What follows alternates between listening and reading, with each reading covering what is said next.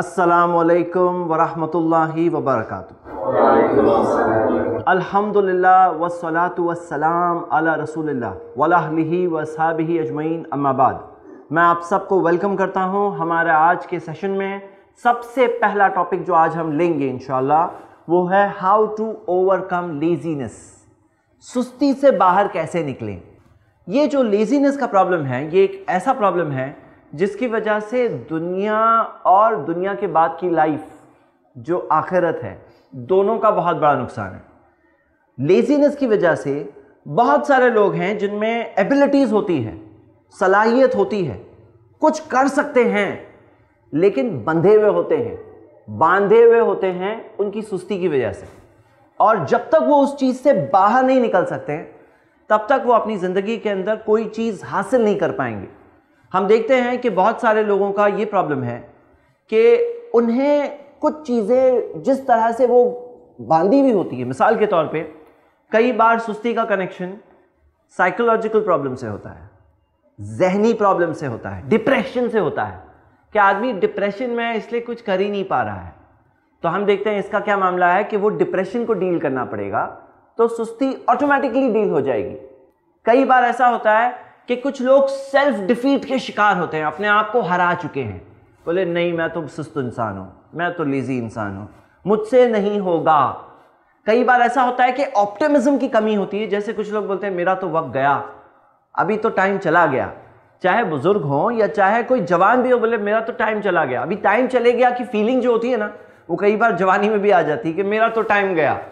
तो वो जब टाइम गया, आदमी सोचता है तो वहाँ पर वो सुस्त बन जाता है, अपने लिए रिजाइन करके लेजीनेस को एक्सेप्ट कर लेता है कि मैं तो लेजी बन के जीऊँगा।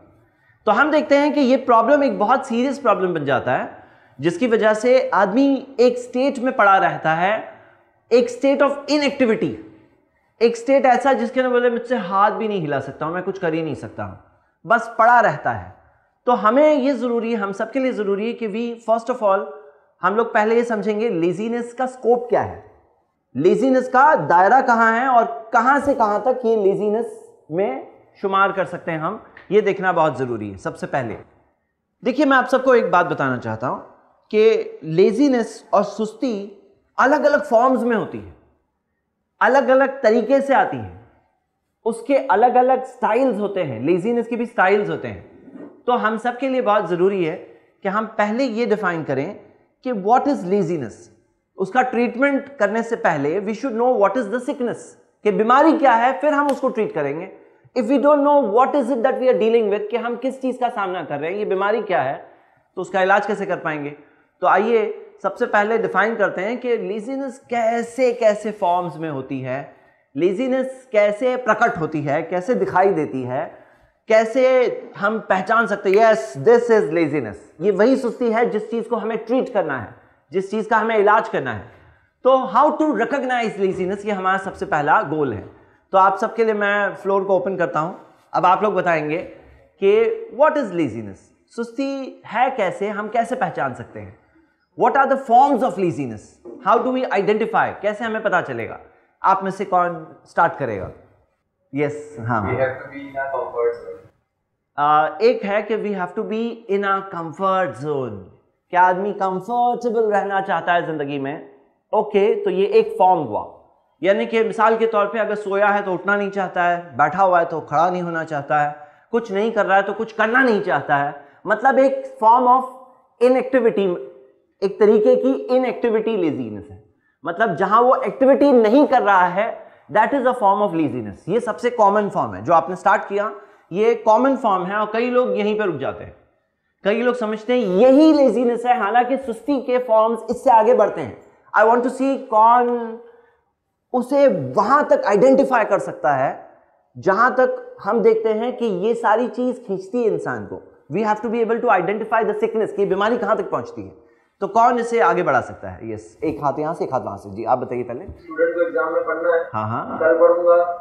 कल पढ़ूँगा। वो कल उसका आता ही नहीं एग्ज़ाम आ जाता है फिर रिज़ल्ट आ जाता है कल नहीं आता। तो आपने एक इसका एक मिसाल बताया जो इसका एलेबरेशन है फ़र्स्ट पॉइंट का एलेबरेशन बल्कि एक मिसाल है कि एक मिसाल है जब एग्ज़ाम्स आ रहे हैं कल कल कल कल होते होते फाइनल एग्ज़ाम टाइम आ जाता है। तो ये सिर्फ़ स्टूडेंट्स के साथ होता है या दूसरों के साथ भी होता है? सबके साथ मतलब ऑफ़िस में भी होता है कि स्टाफ को बोले करो हाँ करूँगा कल करूँगा। ये मैं बाद में करूँगा। कई बार स्टाफ या सिर्फ़ बॉस भी स्टाफ या बॉस भी बॉस के साथ भी होता है। खुद अपने साथ लोग करते हैं कि अपने बिज़नेस को पीछे करने में कई बार खुद वो बिज़नेस के ओनर का और बॉस के कंपनी के मालिक का हाथ होता है या कंपनी के मैनेजर का हाथ होता है। बोले कि ये कल करूँगा। हाँ तो ये सबके साथ होता है। अच्छा ये बताइए कि एक शख्स है जो एक्टिव है। सुस्त यानी कि वो कुछ नहीं कर रहा है, ऐसा नहीं, वो कर रहा है। लेकिन बैठ करके सोशल मीडिया फेसबुक एक्टिव है। मतलब जो डेफिनेशन हमने कहा ना कि कुछ नहीं कर रहा है, ये वो डेफिनेशन में फिट हो रहा है। कर रहा है ना वो कुछ? क्या आप कह रहे हो एक्टिव नहीं बहुत एक्टिव है, माशाल्लाह। फास्ट फास्ट फॉरवर्ड देखा आपने? जो सैवी होते हैं ना इट्स अमेजिंग किस तरह से उनके दिमाग चलता है, किस तरह से वो फटाफट। लेकिन एक्टिव तो है। अभी लेजी है या नहीं है वो? प्रोडक्टिव नहीं है। लेजी है या नहीं लेजी है? नहीं है। तो हम ये देखते हैं व्हाट इज़ हैपनिंग कि उसे जो करना चाहिए अगर वो नहीं कर रहा है तो in reality he is being lazy हाँ अगर वो सोशल मीडिया एक्सपर्ट है, जिसका काम रोजी रोटी, जिसकी प्रोडक्टिविटी यही है कि मैं ऑप्टिमाइज करता हूँ, मैं बिज़नेस को प्रमोट करता हूँ, मैं सोशल मीडिया के ज़रिए कुछ प्रोडक्टिव करता हूँ तो fine he is doing his work वो काम कर रहा है अपना। लेकिन अगर नहीं है ऐसा जिससे बहुत सारे लोगों का यही होता है क्योंकि सोशल मीडिया एक्सपर्ट्स प्रमोशन वाले पीपल तो बहुत माइनॉरिटी होंगे, लेकिन लार्ज मेजोरिटी ऑफ़ पीपल वो होते हैं जो अपनी ज़िंदगी का बहुत सारा टाइम सोशल मीडिया में वाइल अवे करते हैं। हाँ तो ये भी एक फॉर्म है लेजीनेस का, जो हमें समझना चाहिए, लेकिन तब जब हम कोई दूसरे इंपॉर्टेंट काम को छोड़ कर वो कर रहे हैं। हाँ तो हम उसको आइडेंटिफाई करेंगे, हम आगे बढ़ते हैं। जी लेजीनेस के और फॉर्म्स बताइए। चलिए, मैंने थोड़ा सा उसके अंदर एक्सपांड करके बताया। I want you to take it forward अब यहाँ से आप लोग आगे बढ़ाइए। कौन बताएगा? Yes sister you don't want to do anything, hmm like uh, like any body movement. Don't want to do anything any body movement कुछ करना है। Home is a mess children की अपब्रिंगिंग बच्चों का वक्त जा रहा है। बच्चे बड़े हो रहे हैं। बचपन गुजर रहा है। Mother can do so much to build assets for the society investments for society this is her investment for the world हाँ लेकिन वो नहीं कर पा रही है because she is laid back lazy तो yes you have rightly said this is a expansion of the first point और बताइए। कई बार ऐसा होता है, कोई बड़ा काम करना होता है जो ज़रूरी है एसेंशियल है, नहीं करेंगे तो नुकसान होगा, करेंगे तो फ़ायदा होगा। लेकिन वो बड़ा काम, अहम काम छोड़ करके आदमी इजी और छोटा काम करता है। कर रहा है काम कर रहा है he is not not doing anything वो कुछ नहीं कर रहा ऐसा नहीं कर रहा है। लेकिन एक ऐसा काम कर रहा है जो इनसिग्निफिकेंट है गैर ज़रूरी है गैर अहम है जिससे उसी ज़िंदगी में बहुत ज़्यादा इंपैक्ट नहीं पैदा होने वाला है। काम है लेकिन इतना इंपॉर्टेंट नहीं है, साइड ही वर्क होते हैं ना कुछ। बड़ा काम छोड़ करके नुकसान करके ये कर रहा है।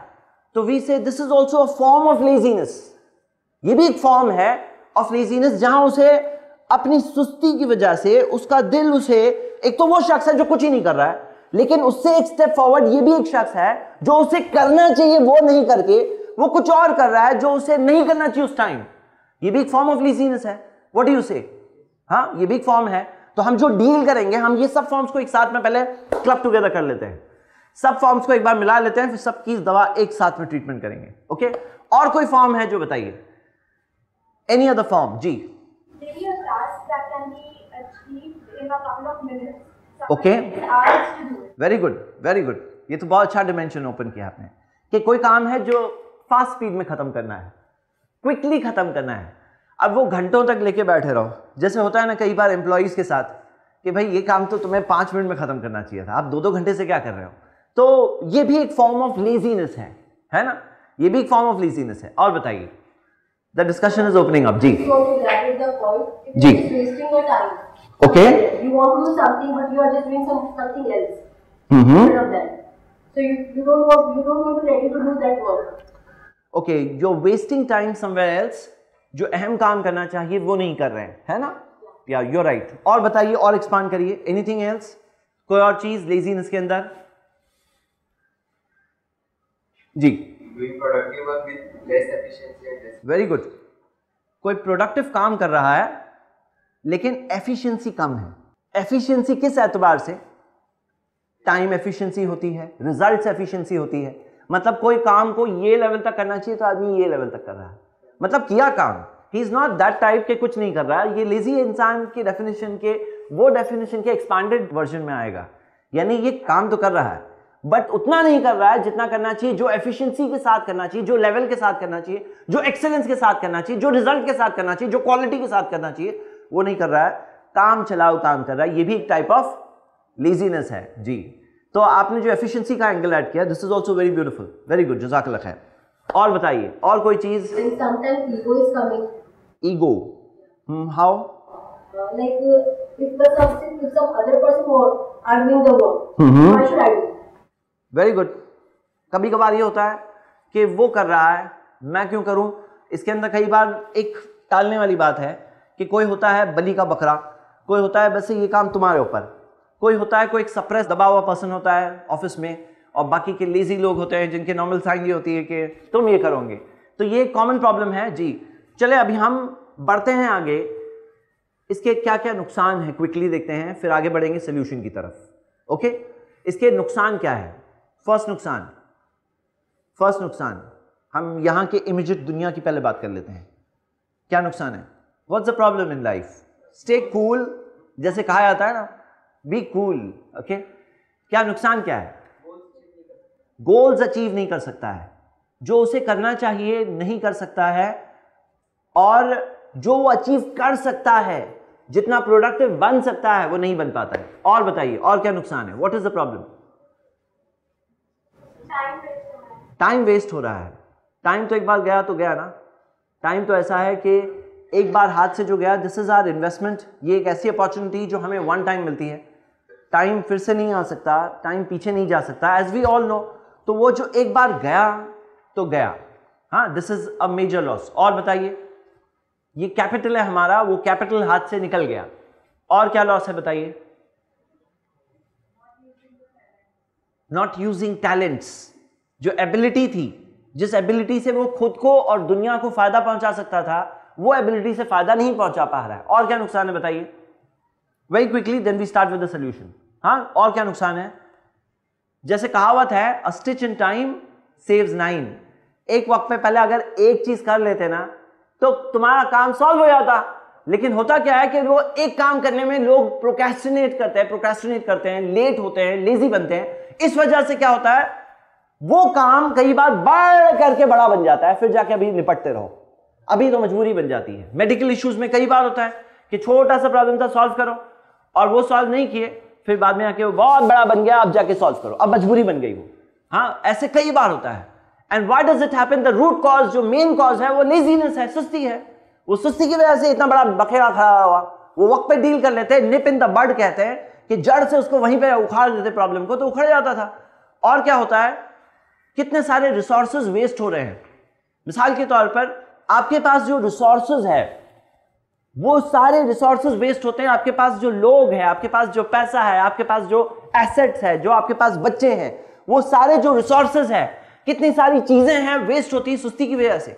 ये सुस्ती का प्रॉब्लम एक बहुत सीरियस प्रॉब्लम है हमारी सोसाइटी का my dear brothers and sisters अगर कोई सोसाइटी लेजीनेस से बाहर निकल जाए ना तो वो बहुत बड़े अचीवमेंट्स की तरफ़ आगे बढ़ेगी। और जब हम आगे देखते हैं, एक और बड़ा प्रॉब्लम है कि आखिरत के एतबार से लाइफ आफ्टर डेथ के एतबार से लेजीनेस एक इंसान को रोकती है कि जो उसे करना चाहिए, जो उसे नमाज़ पढ़ना चाहिए लेजीनेस उसे रोक रही है नमाज़ पढ़ने से, अल्लाह के सामने सर झुकाने से, जिससे उसके फुल डे में फ़ायदा होगा, उसकी फुल लाइफ में फ़ायदा होगा, उसकी प्रोडक्टिविटी में फ़ायदा होगा। उसी तरह किसी को हज करने जाना चाहिए, उसके पास है ability but he is lazy वो नहीं जा रहा है। किसी को कुछ अच्छा काम करना चाहिए, उसकी सुस्ती उसे रोक रही है वो सारे कामों से। तो ये भी उसके आखिरत के एतबार से उसका नुकसान है in regards his life after death चलिए हम आगे बढ़ते हैं। अब आते हैं हम मेन पार्ट पर जो है सोल्यूशन सोल्यूशन में सबसे पहला पॉइंट सबसे पहला पॉइंट है अवेयरनेस ये सारा प्रॉब्लम का सोल्यूशन नहीं होगा। अगर अवेयरनेस ना हो, सबसे पहली अवेयरनेस ये है कि लेजीनेस बुरी चीज़ है। सबसे पहली अवेयरनेस ये है कि लेजीनेस बुरी चीज़ है, ये बात समझना, मानना एक्सेप्ट करना, कबूल करना बुरी चीज़ है। क्योंकि कई लोगों की मेंटालिटी ये होती है कि इसमें क्या गलत है? इसमें क्या गलत है? अगर इसमें क्या गलत है वाली मेंटालिटी है तो फिर तो आप उसका सोल्यूशन निकालोगे ही नहीं। आप तो उसे गलत समझोगे तो निकालोगे ना। तो हम देखते हैं कि प्रॉफिट मोहम्मद वसल्लम सुबह और शाम की दुआएँ उन्होंने सिखाई कि मॉर्निंग में पढ़ो इवनिंग में पढ़ो। वो सुबह शाम की दुआओं में ये वर्ड्स हमें मिलते हैं अल्लाह इन्नी आउजुबिका मिनल कसली। अल्लाह तेरी पनाह माँगता हूँ मैं सुस्ती से। मैं सुस्ती से लेजीनेस से मैं तेरी पनाह माँगता हूँ। क्योंकि सुस्ती जब एक इंसान में होना, वो यूजलेस बन जाता है, वो बर्डन बन जाता है, वो लाइबिलिटी बन जाता है। अरे पानी का ग्लास चाहिए तो भी वो, इधर आओ, पानी दो मुझे। हाँ ऐसे कई लोग होते हैं जो खुद का कुछ कुछ नहीं कर पाते हैं। They are very very laid back and lazy वो एक लाइबिलिटी और बोझ होते हैं। हाँ वो आ गए घर में तो मतलब वो अभी सब काम उनके लिए करते रहना पड़ेगा। तो हम देखते हैं कि ऐसे कई लोग होते हैं तो अल्लाह के रसूल सल्लल्लाहु अलैहि वसल्लम ये दुआ मांगा करते थे। सही बुखारी की हदीस है, आठ चीज़ों से पनाह मांगते थे। वो आठ में से एक पनाह है कि अल्लाह औजुबिका मिनल कसली। अल्लाह, तेरी पनाह माँगता हूँ सुस्ती से। और सुस्ती कई फॉर्म्स में आती है। वो फॉर्म्स के ताल्लुक से भी हमें बताया गया कि how these things are bad जैसे फॉर एग्ज़ाम्पल एक उसका फॉर्म होता है जब एक इंसान ओवर स्लीपिंग कर रहा है। हाँ ओवर स्लीपिंग कर रहा है। मतलब जितना सोना चाहिए, जिसम को जितनी ज़रूरत है, हम लोग ये नहीं कह रहे हैं कि भाई सोना ही नहीं है। हाँ या सोना नहीं है, अपने आप को स्लीप डिप्राइव कर दो, ये नहीं कह रहे हैं। लेकिन जहाँ पर ओवर स्लीप करता है, वो एक लेजीनेस और सुस्ती का एक फॉर्म होता है। वो अपनी ज़िंदगी का टाइम उसमें वेस्ट कर रहा है। तो हम देखते हैं, सबसे पहली चीज़ है अवेयरनेस अवेयरनेस क्या चीज़ की?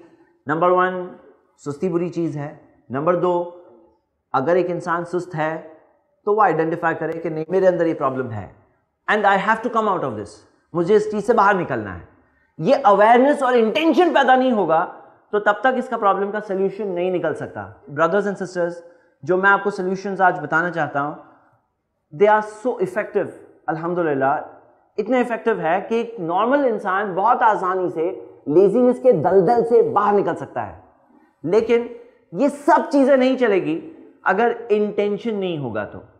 अगर एक इंसान के दिल के अंदर इंटेंशन नहीं है ना, सब चीज़ें फेल है। बहुत अच्छे फॉर्मूलाज होने दो these formulas don't work if there is no intention in अगर दिल में नीयत ही ना हो उस चीज़ की तो कहाँ से रिज़ल्ट आने वाले हैं?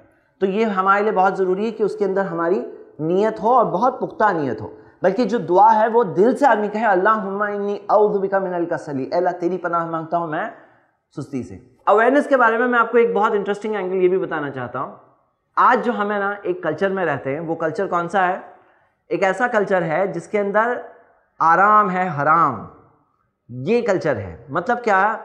आप कॉरपोरेट कल्चर देखें कि 16 घंटे काम 14 घंटे 18 घंटे काम। मतलब क्या है कि आदमी को बस निचोड़ दो बस, उसके अंदर कुछ बचना नहीं चाहिए। तो क्या हम लोग लेजीनेस से ये कह रहे हैं? तो नहीं, हम ये कह रहे हैं कि आपका रेस्ट का वक्त है तो रेस्ट करिए। ये बॉडी का हक है आप पर। इन्ना ली जसदी का अलई का हकुन सही बुखारी की हदीस है। Your body has a right over you ये जिसम का तुम पर हक होता है। तो वो हक अदा करना है। तो हम ये नहीं कह रहे हैं कि अपने आप को टोटली डिप्राइव कर दो।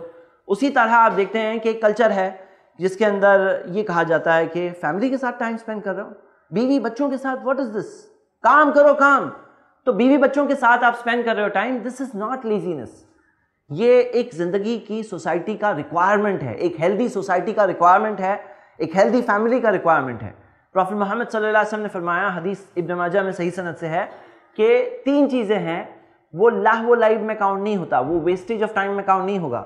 और उसके अंदर एक चीज़ ये भी है कि एक शख्स अपनी बीवी के साथ कुछ प्लेफुल बातें कर रहा है। मतलब कुछ हेल्दी अच्छी बातें कर रहा है। This is not wastage of time तो यानी क्या है कि बीवी के साथ, बच्चों के साथ टाइम स्पेंड कर रहा है। उनकी अपब्रिंगिंग उनके साथ खेलना, उनके साथ बात करना, उनकी पर्सनैलिटी को मोल्ड करना, ये इन्वेस्टमेंट है कल का। This is not wastage of time और क्या वेस्टेज ऑफ़ टाइम नहीं है कि जैसे मिसाल के तौर पर, जैसे मैं आपको आगे बताने वाला हूँ कि we have to remove some time for connecting with our creator अब वो टाइम कई लोगों को लेजीनेस लग जाए, बोले ये तो वेस्टेज है, नहीं है ये ये इन्वेस्टमेंट है। इसकी वजह से बेहतरीन रिजल्ट्स पैदा होते हैं। तो ये जो कंसेप्ट है, जहाँ पे बस कुछ वक्त मत दो एक इंसान को, उसके अंदर से कितना निचोड़ के ताकत निकाल सकते हो दिस इज़ एफिशिएंसी एक और चीज़ क्या है मालूम है? लोगों ने लेजीनेस को फेलियर से कनेक्ट किया है। मतलब कोई इंसान फेल्ड है फेल होता है तो उसके लिए इज़ इक्वल टू लेजी बना दिया। क्या ये रेशियो ये क्या ये equation failure is equal to laziness सही है या नहीं failure is equal to laziness ये सही है, गलत है? क्या गलत है इसमें? फेलियर लेजीनेस की वजह से फेलियर आ सकता है कि नहीं आ सकता है? लेकिन सारा फेलियर सिर्फ़ लेजीनेस की वजह से है। कई सारे लोग हैं जो एक्टिव है लेकिन फेल होते हैं, और कई सारे ऐसे भी लोग हो सकते हैं जो लेजी है लेकिन सक्सेसफुल है। हाँ? वो बहुत कुछ और सक्सेसफुल हो सकते थे, लेकिन अभी इतने सक्सेसफुल है। सक्सेसफुल है, लेकिन लेजी है। तो failure is equal to laziness के इक्वेशन बनाने से आदमी प्रॉब्लम को समझ ही नहीं रहा है। अब वो सॉल्व कैसे करेगा? उसने इक्वेशन ही रॉन्ग बना दिया। फेलियर और लेजीनेस सेम नहीं है। लेजीनेस कॉज ऑफ़ फेलियर है। लेजीनेस की वजह से, सुस्ती की वजह से फेलियर आते हैं। लेकिन सारे फेलियर सिर्फ़ लेजीनेस की वजह से नहीं है। तो मिसाल के तौर पे दो लोग दिख रहे हैं एक सक्सेसफुल एक फेलियर और सक्सेसफुल को देख के कहेंगे, ये तो बहुत एक्टिव आदमी है और तुम तो बहुत लेजी इंसान हो, क्योंकि तुम फेलियर हो. तो ये क्या मामला? ये फेलियर का डेफिनेशन ही बहुत बड़ा प्रॉब्लम है। फेलियर का डेफिनेशन बहुत बड़ा प्रॉब्लम है, क्योंकि इसकी वजह से सक्सेस तक पहुँचने में बैरियर है जब फेलियर क्या आदमी ना समझे। फेलियर का गलत डेफिनेशन हो कि फेल्ड कौन है। मालूम है फेल्ड कौन है? ये हमारे सोसाइटी के अंदर रॉन्ग डेफिनेशन की वजह से दुनिया भर का मेंटल प्रॉब्लम्स क्रिएट करते हैं लोगों के लिए। कितने सारे लोग स्ट्रेस और परेशान ज़िंदगी जीते हैं, ये रॉन्ग डेफिनेशन की वजह से। तो फेलियर किसे कहते हैं? ये बात भी समझना बहुत ज़रूरी, जो हम फेलियर के ताल्लुक से, जब टॉपिक देखने वाले हैं कल सक्सेस और फेलियर के ताल्लुक से, कि कैसे कामयाब बने, कैसे फेलियर से बचें। तो ये टॉपिक जब देखेंगे तो तब हम उस चीज़ को और एलैबोरेट करेंगे। लेकिन अभी के लिए इतना काफ़ी है कि सुस्ती फेलियर का रीज़न है, लेकिन सारा फेलियर सुस्ती की वजह से नहीं है। और ये इक्वेशन करने से एक इंसान सही डायग्नोज नहीं कर रहा है प्रॉब्लम को। तो हमारा पहला पॉइंट ये है अवेयरनेस और इंटेंशन से बातें करेंगे कि लाएँगे। देखिए, आप यहाँ प्रेजेंट हैं और आप सब यहाँ पे देख रहे हैं इस प्रोग्राम को तो मैं आप सबको ये इनवाइट करता हूँ कि इंट्रोस्पेक्ट करें, सोचें, क्या मैं सुस्त इंसान हूँ? मिसाल के तौर पे कोई है जो बैठ करके आजकल का कॉमन प्रॉब्लम गेम्स खजानों को जमा करने में लगा है। ऐसे इमेजिनरी खजाने जो कुछ भी नहीं मिलते हाँ? और ऐसी गेम्स जो इस तरह से बनाई जाती है कि एक लेवल खत्म हो गया, अब चैलेंज है। अगला लेवल करके बताओ। अगला लेवल हो गया, अब चैलेंज है, ये करके बताओ, ये करके बताओ।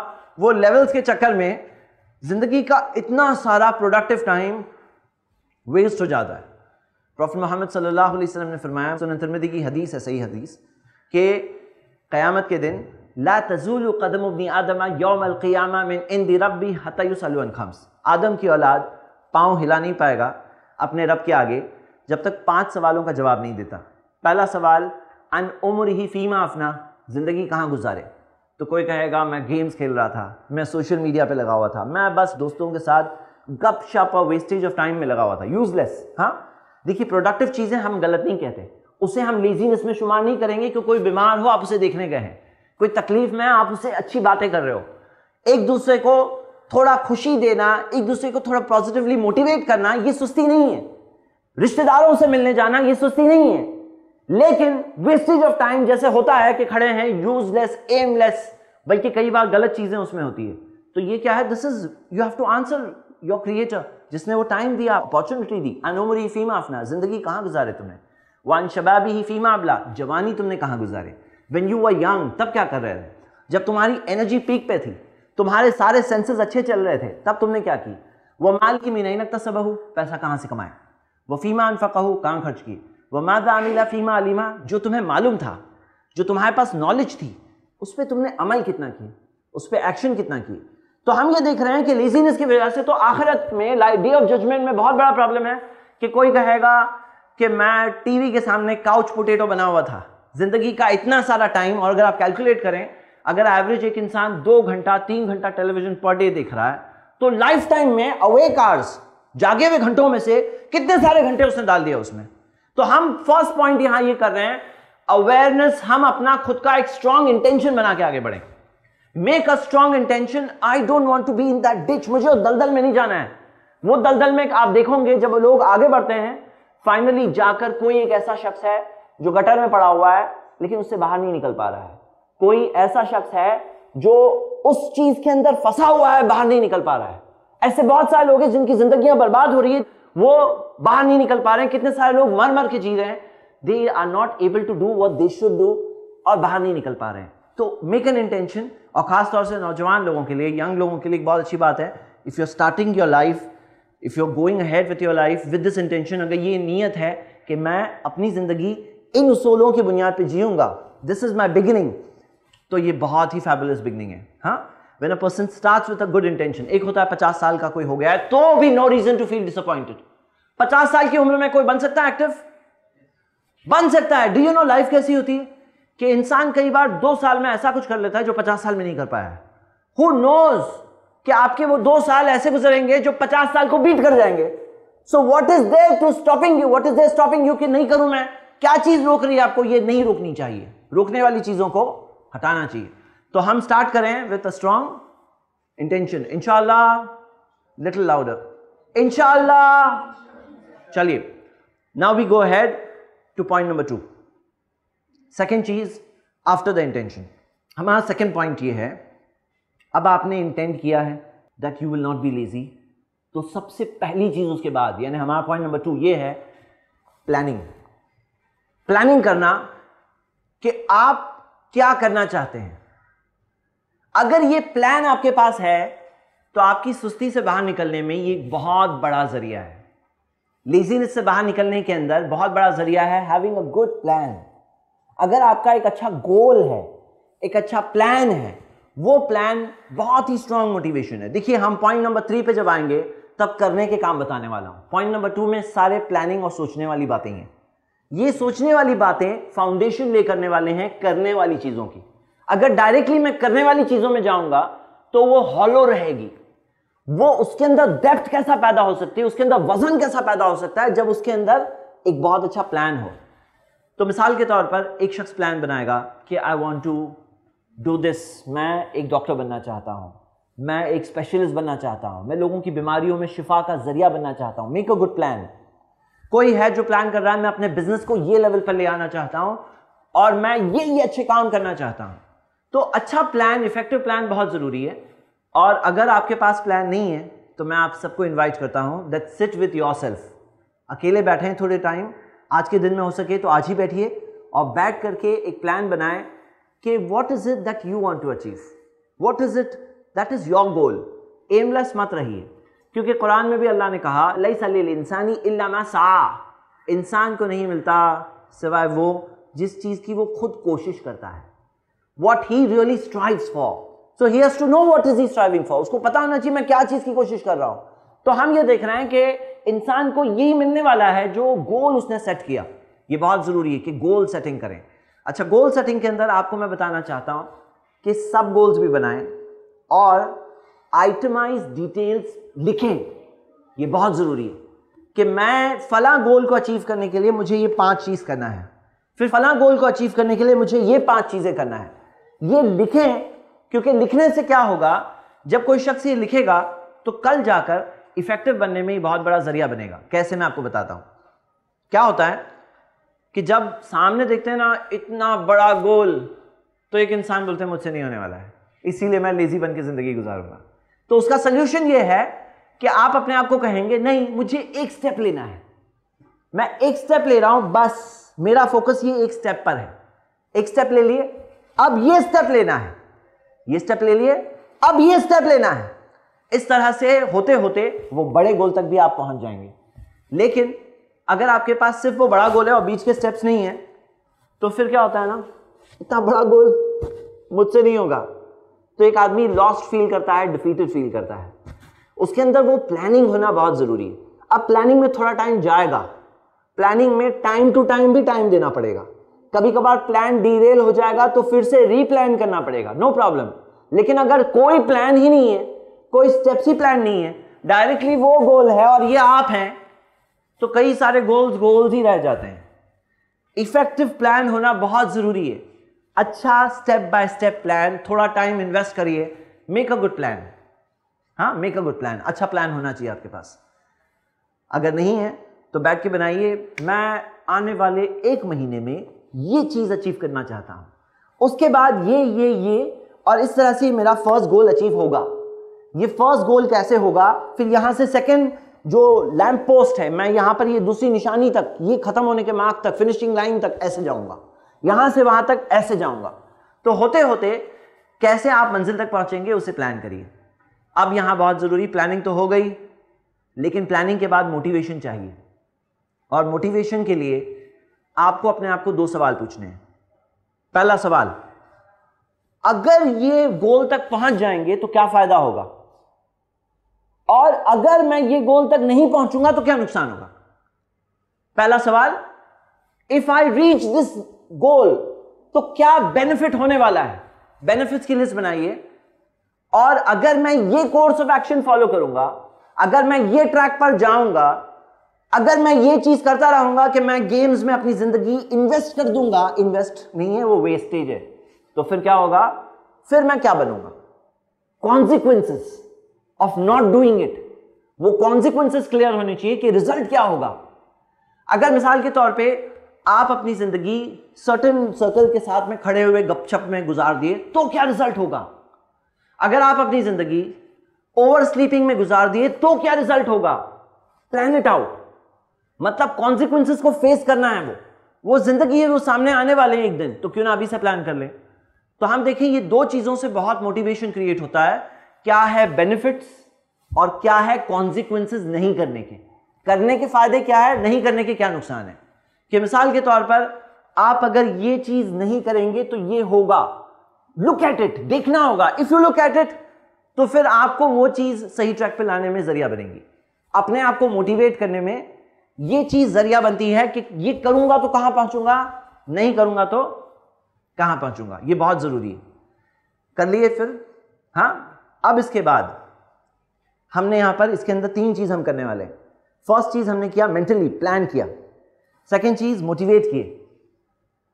प्लानिंग मोटिवेशन अब थर्ड चीज़ ये है look at examples of success success की मिसालें आपके सामने होनी चाहिए।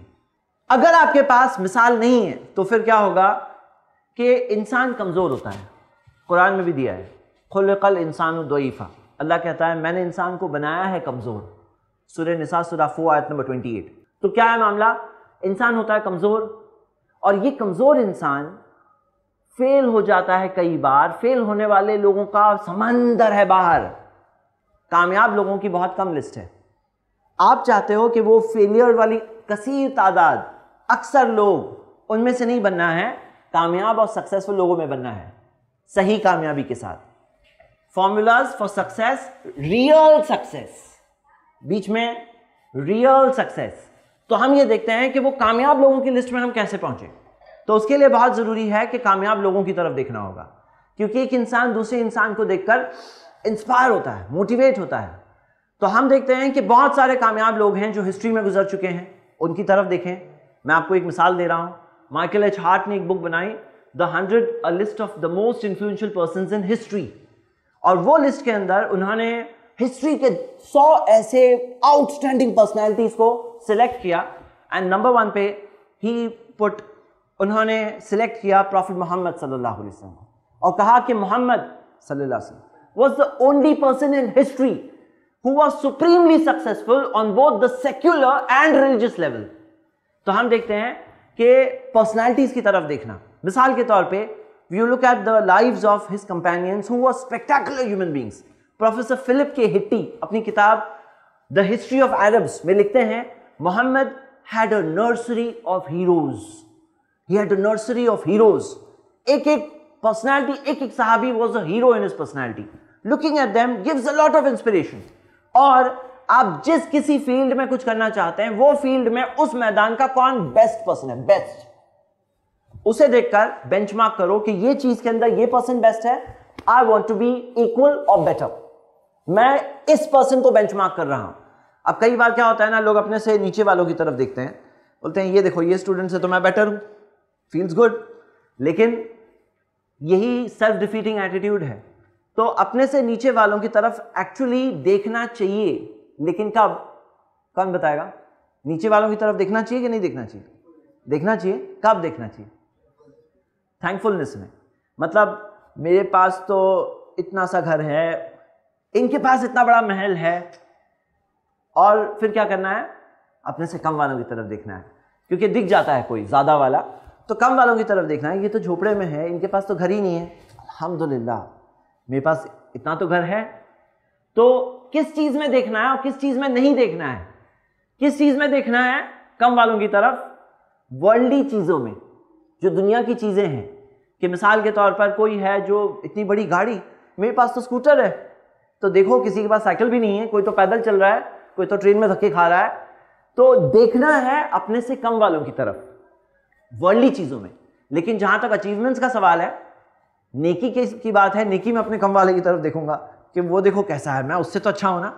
हाँ? या अच्छे कामों में इफ़ेक्टिव लिविंग में अचीवमेंट्स में, अपने से कम वालों की तरफ़ नहीं देखना है, अपने से आगे और बेटर वालों की तरफ़ देखना है कि he is the best doctor मैं उससे अच्छा डॉक्टर बनना चाहता हूँ। He is the best businessman ये इस इस तरह से अपने बिज़नेस को मैनेज करते हैं। मैं एफिशिएंसी और बिज़नेस प्लानिंग के अंदर उनसे बेटर बनना चाहता हूँ। He is the best in planning इनकी बिज़नेस आइडिया सबसे बड़ी जीनियस होती है। I want to be better than him in this तो वर्ल्डली मैटर्स के अंदर ये पोजेशंस की जहाँ बात आती है, जहाँ पे वेल्थ की बात आती है, वहाँ अपने से कम वालों की तरफ़ देखकर आदमी शुक्र करेगा, अल्लाह का। लेकिन जहाँ पर अचीवमेंट्स की बात आती है, वहाँ से अपने से बेटर वालों की तरफ़ देखना चाहिए। तो देखना है उन लोगों की तरफ़ और अपने ताल्लुक से आदमी इमेजिन करे कि मैं भी वो लेवल तक पहुंचूं। अपने ताल्लुक से विजुलाइज करे। हम देखते हैं कि प्रॉफिट मोहम्मद सल्लल्लाहु अलैहि वसल्लम ने कहा जब कोई शख्स एक नेक काम करने का इंटेंशन करता है, नियत करता है, उसके लिए वो काम एक लिख दिया जाता है रिकॉर्ड में। और कर ले तो मिनिमम टेन टाइम्स ऑनवर्ड्स और अगर कोई इंटेंशन करता है, कोई गुनाह का गलत काम का इंटेंशन करता है तो नहीं लिखा जाता लेकिन अगर वो नहीं करे, जहन में ख्याल आ गया, फिर नहीं किया तो उसके लिए एक रिवॉर्ड लिखा जाता है। सही बुखारी, सही मुस्लिम की हदीस है। तो यहाँ क्या मामला है कि हमें बैठ के इंटेंट करना है, अच्छी अच्छी चीज़ें। तो जैसे कोई बैठ के सोच रहा है, मैं ये एक अच्छा काम करूँगा। बैठे बैठे बैठे बैठे पॉजिटिव थिंकिंग से अपने लिए रिवॉर्ड्स क्रिएट कर रहा है, अपने लिए ज़िंदगी में अचीवमेंट्स क्रिएट कर रहा है। तो विजुअलाइज करना है कि मैं ये कर रहा हूँ इनशाला आई विल डू दिस मैं ये करूँगा इनशाला ये विजुलाइज करना कि मैं हूँ, ये कर रहा हूँ, मैं पहुँच गया। ये विजुअलाइजेशन आपको वहाँ से सक्सेस तक लाने में ज़रिया बनेगा। वो विजुअलाइजेशन बहुत ज़रूरी है। और यही एक चीज़ है जो आपके पास होगी। नंबर वन आपका गोल नंबर टू क्या बेनिफिट्स है और नहीं करने के क्या नुकसान है? नंबर थ्री वो है अपने से सक्सेसफुल लोगों की तरफ़ देखना और देख करके अपने आप को विजुअलाइज करना। तीन parts first part first part क्या है? गोल गोल नहीं है, नहीं होगा। रोड मैप रोड मैप चाहिए road map goal and road map second point motivation हाँ? क्या बेनिफिट्स है और क्या लॉस है? और नंबर थ्री सक्सेसफुल लोगों की तरफ़ देखना, अपने आप को भी वहाँ पर विजुलाइज करना। ओके चलिए हम आगे बढ़ते हैं। ये हो गया मेंटल स्टेज फ़र्स्ट स्टेज क्या था हमारा? फ़र्स्ट स्टेज क्या था? इंटेंशन हमने इंटेंट किया। एक नियत की। सेकेंड स्टेज क्या है? हमने प्लानिंग की, अपने आप को मोटिवेट किया। अब हम आगे बढ़ रहे हैं थर्ड स्टेज क्या चीज़ का स्टेज सुस्ती से बाहर निकलने का स्टेज कुछ अचीव करने का स्टेज लेजीनेस के दलदल से बाहर निकलने का स्टेज कैसे बाहर निकले? थर्ड स्टेज इज़ एक्शन तो गेट सेट गो ये है एक्शन टाइम अब एक्शन टाइम में आपको मैं एक बहुत ब्यूटीफुल फॉर्मूला देना चाहता हूँ. स्टार्ट करते हैं.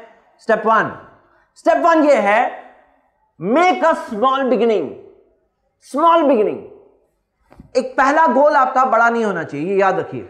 विजन आपका बड़ा है. लेकिन फ़र्स्ट स्टेप का फ़र्स्ट गोल जो आप सेट करेंगे, बड़ा गोल मत सेट करिए। याद रखिए, ये मिस्टेक बहुत से लोग करते हैं। फ़र्स्ट गोल ही वो रख दिए। आ बिग लेग मेरा लेग वहाँ पे ऊपर जाने वाला है। अरे फ़र्स्ट स्टेप कहाँ रखो? इजी रखो। ये बहुत ज़रूरी है। आपका first step first goal easy होना चाहिए। मैं आपको दो हदीस बताऊँगा इस ताल्लुक से, और और भी बहुत सारी हदीसें हैं। प्रॉफिट मोहम्मद सल्लल्लाहु अलैहि वसल्लम ने फरमाया बल्ले गो अन्नी, वो आया। पहुँचा दो मुझसे, चाहे एक आयत क्यों ना हो। एक आयत मालूम है तुम्हें? पहुंचाओ। सही बुखारी की दूसरी हदीस। अपने आप को जहन्नम की आँख से बचाओ, चाहे आधा खजूर ही देकर क्यों ना हो। चाहे एक आयत क्यों ना हो पहुंचाओ, चाहे आधा खजूर ही क्यों ना हो देकर पहुंचाओ। क्या रूल है आपको? क्या मिल रहा है यहाँ से? फ़र्स्ट गोल स्मॉल रखो। क्योंकि क्या होता है ना, दुनिया में दो टाइप के लोग होते हैं। ऐसे लोग होते हैं जो देते हैं स्पेंड करते हैं और ऐसे लोग होते हैं जो स्टिंजी होते हैं, नहीं, मैं कुछ नहीं स्पेंड करूँगा। जब एक इंसान आधा खजूर जो स्पेंड करता है, आधा खजूर तो दे दो, आधा तो स्पेंड कर दो तो वो उन लोगों में से, वो लोगों में था जो नहीं स्पेंड करते हैं, अब वो उन लोगों में हो गया जो स्पेंड करते हैं। ऐसे लोग हैं जो हक बात कभी नहीं बोलेंगे, कभी नहीं बोलेंगे। खुद के लिए बोलेंगे कि मेरी चीज़ है, मत लो। लेकिन सही और ट्रुथ के लिए, सच्चाई के लिए कभी नहीं बोलेंगे। प्रॉफिट मोहम्मद सल्लल्लाहु ने क्या कहा? बल्ले को अन्नी बोलो आया पहुँचा दो मुझसे, चाहे एक आयत क्यों ना हो। जब एक आयत पहुंचाएगा इंसान तो वो लोगों में था जो कुछ नहीं बोलते हैं, अब वो लोगों में हो गया जो बोलते हैं, जो सच्ची बात, सही बात बोलते हैं। अब यहाँ क्या हो गया? He has taken that step वो पहला कदम ले लिया। नहीं बोलने वालों में से बोलने में आ गया, ना देने वालों में से देने वालों में आ गया। अब एक बार फ़र्स्ट स्टेप हो गया तो पचास स्टेप ले सकता है, सौ स्टेप ले सकता है। फ़र्स्ट स्टेप सबसे मुश्किल होता है। क्या आपको पता है, वो फ़र्स्ट स्टेप है जो कितने लोगों को बांधा हुआ है। फ़र्स्ट स्टेप बड़ा गोल सेट करके डीमोटिवेट हो जाते हैं। विजन है आपका, लेकिन पहला स्टेप आपका जो पहला गोल है, वो छोटा सा होना चाहिए। देखिए, ये रूल बनाओ। आप ये रूल से बिगेस्ट गोल्स अचीव कर सकते हैं। आज आप यहाँ हैं और आप लोग यहाँ देख रहे हैं। आपको क्या चीज़ बांधी हुई है, जरा सोचो। और वो चीज़ के अंदर एक छोटा सा गोल सेट करो। कई लोग हैं जो सोचते हैं और जानते हैं कि I have to do exercise physical fitness के लिए।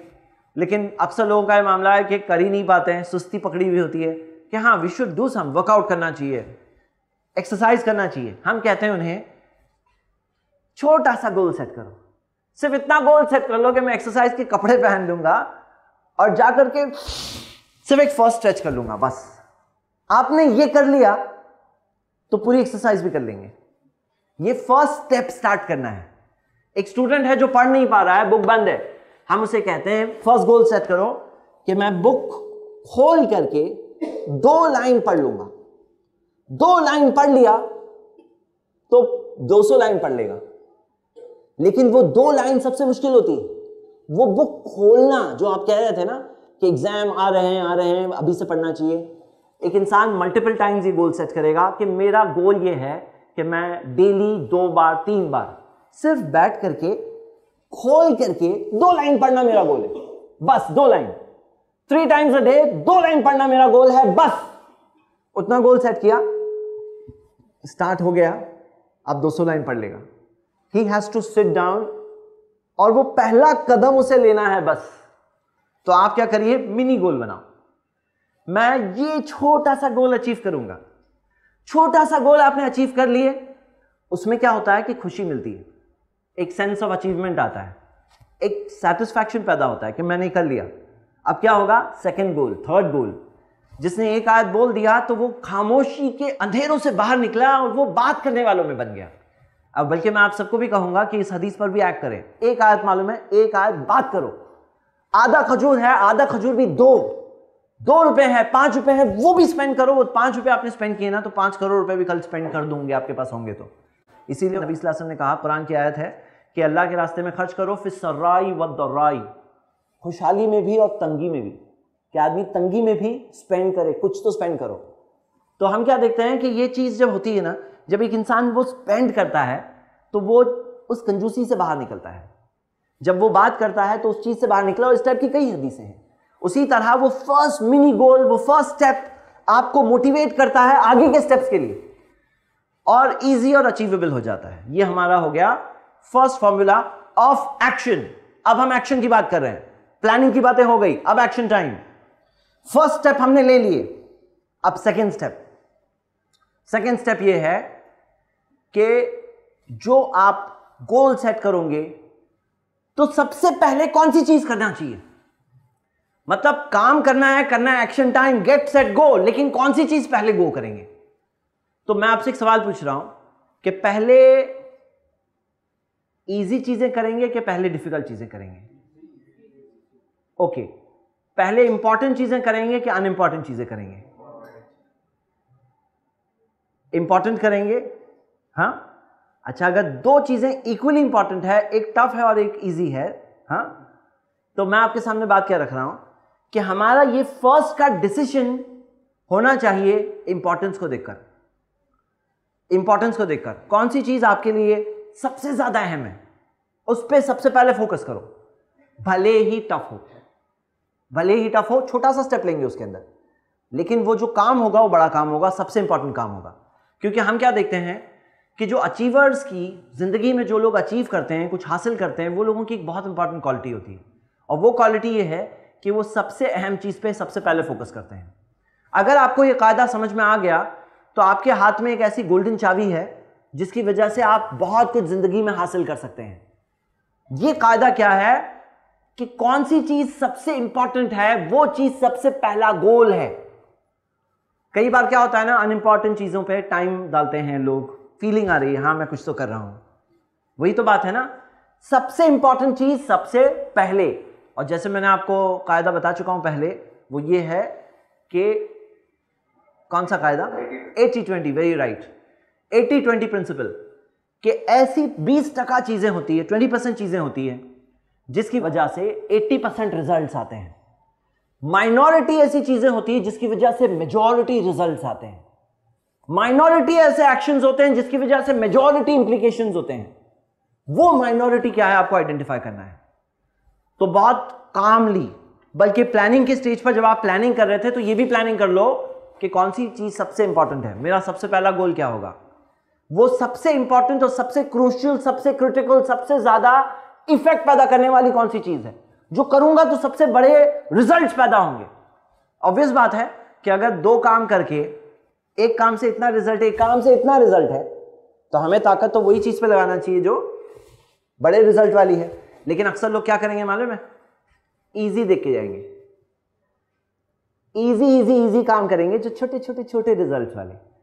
और ये काम जिससे इतना बड़ा रिज़ल्ट आ जाता है, वो उस पर फोकस नहीं करेंगे, उनका डिसीज़न मेकिंग होती है इजी देखकर ईजी और टफ देखकर।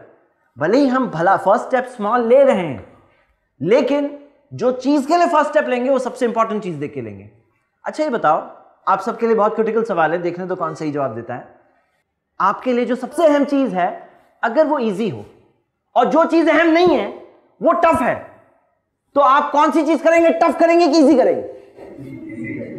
टफ करेंगे इजी करेंगे? इजी करेंगे? ये सीख के जा रहे हो?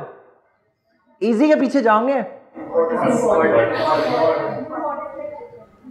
तो पॉइंट याद रखना है कि हम इजी और टफ नहीं देख रहे हैं, हम इंपॉर्टेंस देख रहे हैं। इजी है तो भी इंपॉर्टेंट है टफ है तो भी करेंगे। टफ होने दो। टफ होने दो। छोटा सा गोल उसका रखेंगे फ़र्स्ट स्टेप लेंगे, लेकिन करेंगे वो ये अहम काम। जो सबसे इंपॉर्टेंट काम है, सबसे पहले करेंगे और कई बार ये काम थोड़े टफ होते हैं। होने दो। Start your day start your life with the most important things बल्कि क्या होना चाहिए? डे का जो फ़र्स्ट हिस्सा है ना, बहुत ही ब्लेसड टाइम होता है। प्रॉफिट मोहम्मद सल्लल्लाहु अलैहि वसल्लम ने खास दुआ की अल्लाह बारिक ली उम्मती फ़ी बुकूरी हा अल्लाह मेरी उम्मत की सुबह में बरकत रख। और एक और हदीस में आता है बूरी कली उम्मती फ़ी बुकूरी हा मेरी उम्मत की सुबह में बरकत रखी गई है। बरकत यानी कम एफर्ट में ज़्यादा रिज़ल्ट तो ये क्या है? ये जो best time of the day होता है, ये हदीस दोनों हदीसें सही है, दूसरी हदीस सही अलजामे में है, पहली हदीस इब्न माजा में है। तो हम क्या देखते हैं कि ये जो पहला पार्ट ऑफ़ द डे है, सबसे अहम, भले ही टफ हो, वो काम को फॉलो करने में जाएगा। उसको जाके फॉलो करना है, उसको डाइजेस्ट करना है। पहला काम सबसे पहले। तो हमने अभी दो फॉर्मूलाज देखे फ़र्स्ट फॉर्मूला क्या था? एक्शन के। फ़र्स्ट फॉर्मूला क्या था? Start with a small goal start with a small goal लेकिन start with the most important thing अब मिसाल के तौर पर कोई सिस्टर है जो घर के काम में ओ इतना सारा काम पेंडिंग पड़ा है।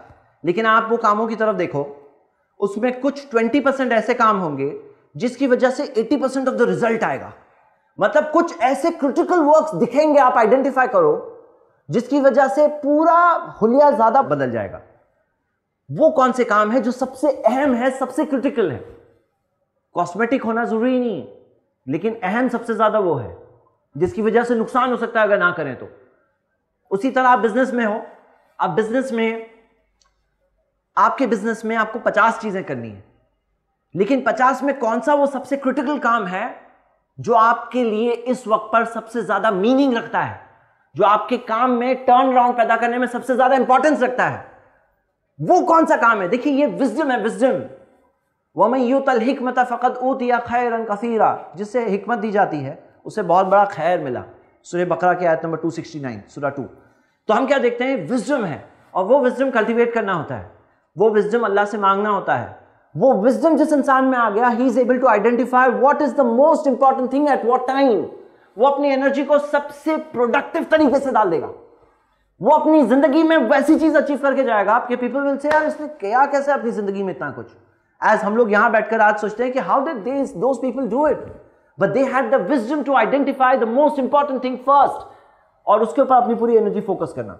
तो ये हो गया हमारे दो points third point third point ये है कंप्लीशन चीज़ों को कंप्लीट करने की आदत बनाए। ये करना शुरू किए। ओ अभी वो चीज़ ज़्यादा इंटरेस्टिंग लग रही है। अब ये करना शुरू कर दिए। अभी ये इंटरेस्टिंग लग रही है। अब ये करना शुरू कर दिया वो, ये ओ वो वो वो। फिर क्या हुआ ओ इतना सारा प्रॉब्लम मुझसे कुछ भी नहीं हो रहा है। लेजीनेस ये कैसे हुआ? कंप्लीशन ना करने की आदत की वजह से चीज़ें पाइल ऑन होते होते होते एक ऐसा स्टेज हो जाता है कि जिसके अंदर आदमी फिर से प्रोकेस्टिनेशन में चले जाता है, सुस्ती के अंदर चला जाता है। जहाँ से हिम्मत से बाहर निकला था, अभी उसकी एक आदत ने उसे फेल कर दी। वो है कि कंप्लीट नहीं कर रहा है। भाई, जो करो कंप्लीट करो। शुरू किए। गेट दैट अचीवमेंट कंप्लीशन बहुत रेयरली बहुत बड़े रीजंस की वजह से कभी कोई काम को पार्किंग लिस्ट में डाल दो। कभी होता है। मैं नहीं कह रहा हूँ कि इसमें कभी भी नहीं कर सकते, कभी होता है। लेकिन this should not be the habit कि ज़िंदगी ऐसी है इनकम्प्लीट चीज़ों की, दास्तान। इनकम्प्लीट चीज़ों का सिलसिला हमारी ज़िंदगी है। ये नहीं, ये सिलसिला हमारी ज़िंदगी नहीं होनी चाहिए। हमारी ज़िंदगी में हम अचीव करें कंप्लीट करें। ये कंप्लीट करने से सेंस ऑफ़ अचीवमेंट आता है। इसी वजह से हमने फ़र्स्ट गोल छोटा सा सेट किया। एक आयत पहुंचाऊँगा। एक आधा खजूर देने का गोल है। जब वो दे दिए तो क्या हुआ? एक फीलिंग ऑफ़ अचीवमेंट आई मैंने फ़र्स्ट स्टेप ले लिया। अब सेकेंड स्टेप अब थर्ड स्टेप अब फोर्थ स्टेप होते होते होते, अब यहाँ पे मैं पहुंचूँगा मंजिल पर। लेकिन कंप्लीट करते हुए आना है। तो ये है हमारी थर्ड हैबिट पहली हैबिट क्या होनी चाहिए? स्मॉल स्मॉल गोल रखिए। आप अगर बड़े बड़े गोल अचीव कर चुके हो, फिर स्मॉल रखेंगे। वो लेवल के हिसाब से आपका स्मॉल देखो क्या होता है ना स्मॉल स्मॉल में फ़र्क होता है। एक बच्चे का स्मॉल और एक बड़े का स्मॉल अलग होगा। बच्चे को कहेंगे टेक अ स्मॉल स्टेप अब उसका बिग स्टेप भी बड़े के स्मॉल स्टेप के बराबर नहीं होगा। तो साइज़ के हिसाब से स्टेप लेना होता है। अगर आपकी साइज़ एकदम छोटी है तो आप वो स्टेप लोगे, लेकिन आपकी साइज़ में ये स्टेप स्मॉल है तो वो स्मॉल जो आपके हिसाब से स्मॉल है, वो करोगे। फ़र्स्ट है स्मॉल स्टार्ट लेकिन अपनी साइज़ भी देख लेना। हाँ? नंबर दो इंपॉर्टेंट मोस्ट इंपॉर्टेंट सबसे पहले। नंबर तीन कंप्लीट करना है ओके अब हम आते हैं नंबर फोर की तरफ़। और नंबर फोर क्या है, पता है आपको? एक ऐसी चीज़ है जो लेजीनेस का बीटर है मतलब लेजीनेस को बीट करने वाली चीज़ है लेजीनेस को डिफीट करने वाली चीज़ है आउट राइट डिफीट करने वाली चीज़ है। मैं आपको एक मिसाल दूँगा, देखते हैं आप में से कौन वो पॉइंट कैच करता है। एक शख्स नमाज़ नहीं पढ़ रहा है, जमात से। उसके दिल में मोटिवेशन आता है कि मैं नमाज़ पढ़ने जाऊँ, जमात से नमाज़ पढ़ूं। You get more reward 27 times more reward brotherhood establish होता है। कंधे से कंधा किसी से मिला के खड़े हो रहे हो तो वो हाई एंड लो ऊंच नीच खत्म हो रही है। सोसाइटी मिल रही है। बहुत सारे उसके बेनिफिट्स हैं। तो अब वो जब सोचता है कि मैं जाऊँ तो जो फ़र्स्ट डे जाता है ना, बहुत स्ट्रगल करना पड़ता है उसको। सुबह का वक्त है, हो सकता है दिसंबर का महीना है, ठंडी का सीज़न है, लेकिन सोचा हूँ मैं जाऊँगा। अब वो जा रहा है he really has to struggle कि असलातु खैर मिन नौम सुन रहा है कि नमाज़ नींद से बेहतर है। तो लेट मी गेट आउट उठा। फ़र्स्ट दिन गया ना, बहुत स्ट्रगल किया। सेकेंड डे स्ट्रगल किया। पहले दिन से थोड़ा सा कम। थर्ड डे स्ट्रगल किया। फ़र्स्ट दो दिन से और कम। बाय द टाइम वो ट्वेंटी फ़र्स्ट डे पहुँचता है 21 दिन, तकरीबन एक्सपेरिमेंट्स में यह आया है कि एक हैबिट फॉर्म होने में 21 डेज़ नॉर्मली लगते हैं। 21 डेज़ तक जब वो पहुँचा है, ये एक्सपेरिमेंटल डेटा है, कोई डिफर कर सकता है। तब वो जब नॉर्मली पहुँच रहा है अब वो चीज़ जो करना फ़र्स्ट डे उसको जितना स्ट्रगल करना पड़ा था जितना अपने आप को मारना पड़ा था बाय द टाइम वो ट्वेंटी फ़र्स्ट डे पहुँचा है अब वो आसानी से उठ के जा रहा है। ठीक है? पॉइंट क्या है? इसमें एक पॉइंट है। आप में से कौन बता सकता है? कंसिस्टेंसी ओके okay, और बताइए। थिंक मोर ओके और बताइए। हाँ? ओके और बताइए। कौन सी वो चीज़ है जो लेजीनेस बीटर है? लेजीनेस को सॉलिड बीट करने वाली। कौन सी वो चीज़ है जो उसके पास वहाँ पे आ गई थी twenty first day intention result और बताइए। स्ट्रगल और बताइए। हाँ?